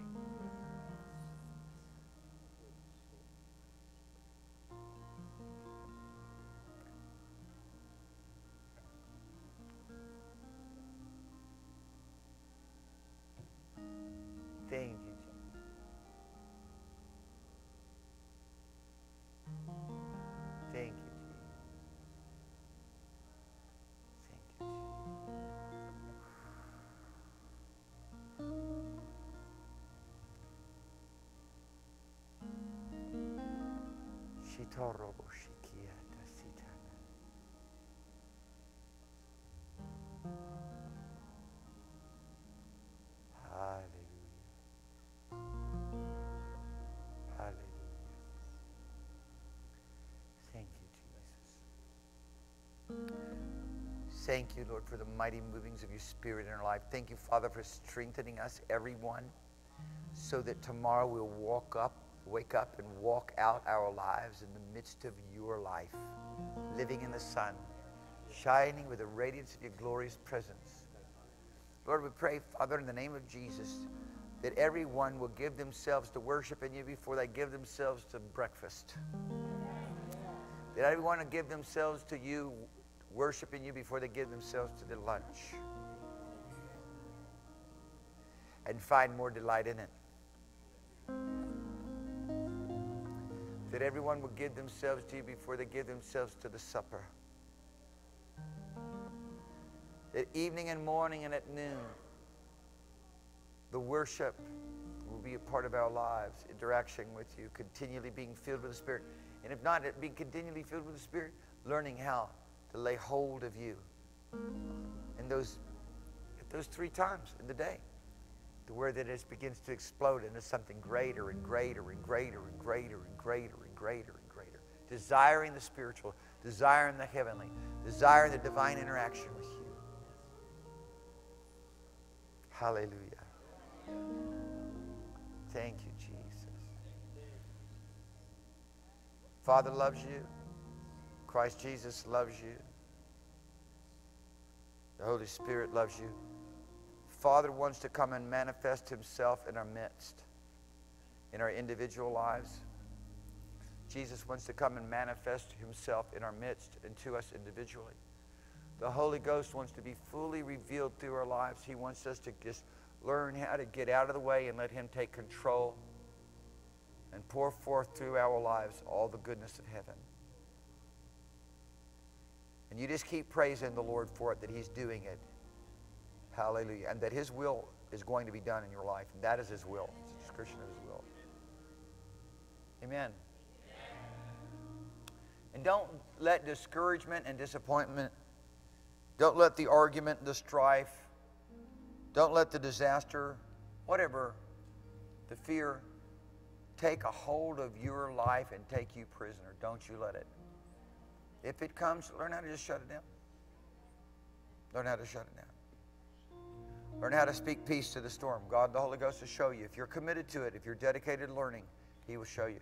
Don't forget that we're going to have School of Spirit this Friday night. And it's really, you know, my desire is in the School of Spirit is really just to see people understand how easy it is to live in the Spirit, to walk in the Spirit, how to just get radical about agreeing with God and doing what Jesus is doing. No matter what things oppose you or what things say you can't do it, you do it. Amen. Hallelujah. And you get so radical that you start dragging people out of wheelchairs and letting their knees be skinned up on the dirt. Hallelujah. You get so radical that you start spitting in people's blinded eyes. Amen. In the name of Jesus. You get so radical that you start commanding the situations to obey God. Hallelujah. You do what's right. Do what's right. Obey God. Honor the Lord. And watch what He will do for you. Honor Him. Honor Him in every area. Don't just honor Him with your substance, with your giving. Honor Him as God. Honor Him in your worship. Honor Him in your praise. Honor Him in keeping Him first. Honor Him in recognizing His presence and obeying Him. Be a, be a good child. Be a right child where you're honoring your Father. We're supposed to give honor to our Father and our Mother earthly. Oh, how much more should we give honor to our Heavenly Father? You honor Him. Hallelujah. Thank you, Jesus. Honor one another in the right way. by submitting yourselves one to another, recognizing that each person here is born of the Spirit. You belong to the Lord Jesus. You're His. Who can lay any charge to God's elect? It is God who justifies. It's Christ who died, Yay! and much more, has raised up from the dead. Amen.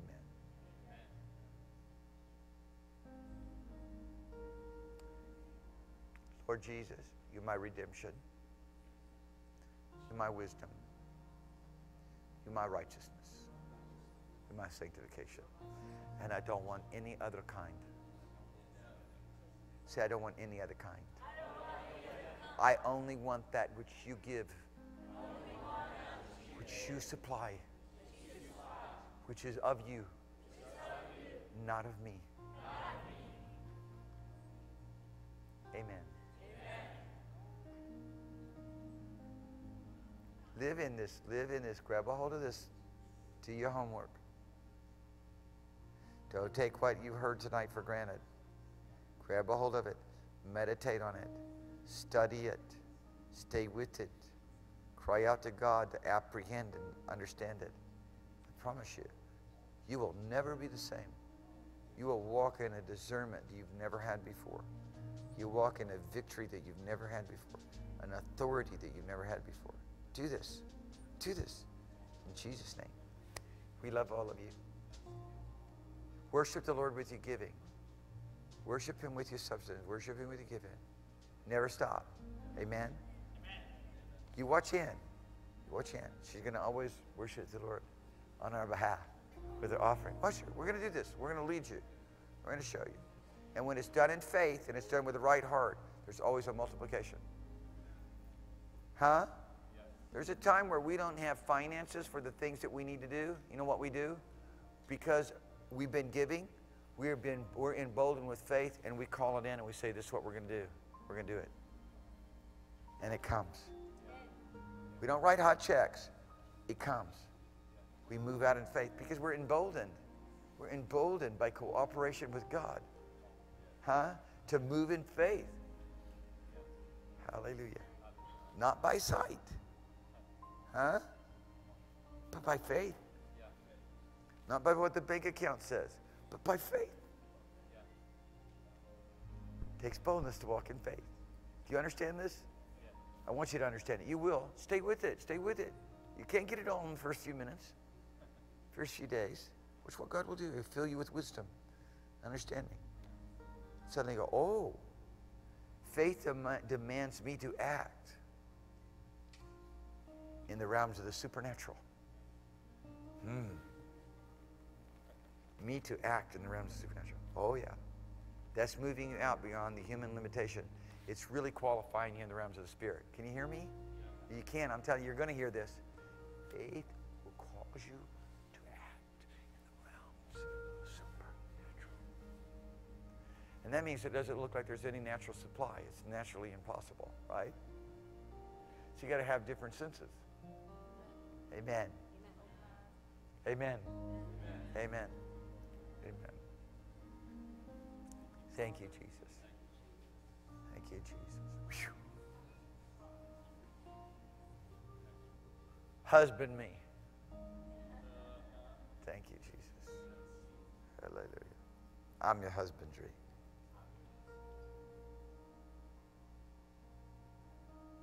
Say, I am the planting of the Lord. I am a tree of righteousness. And Christ Jesus is glorified. Hallelujah. Don't forget it now. Be bold. Be assured. Have a great assurance and great confidence. Hallelujah. Don't allow any condemnation. Jesus'. Condemnation tries to set in. Go get yourself some communion. Amen. Love you. Everybody, find everybody in the place. Hug them. Tell them that you love them. Worship the Lord with your with your offerings.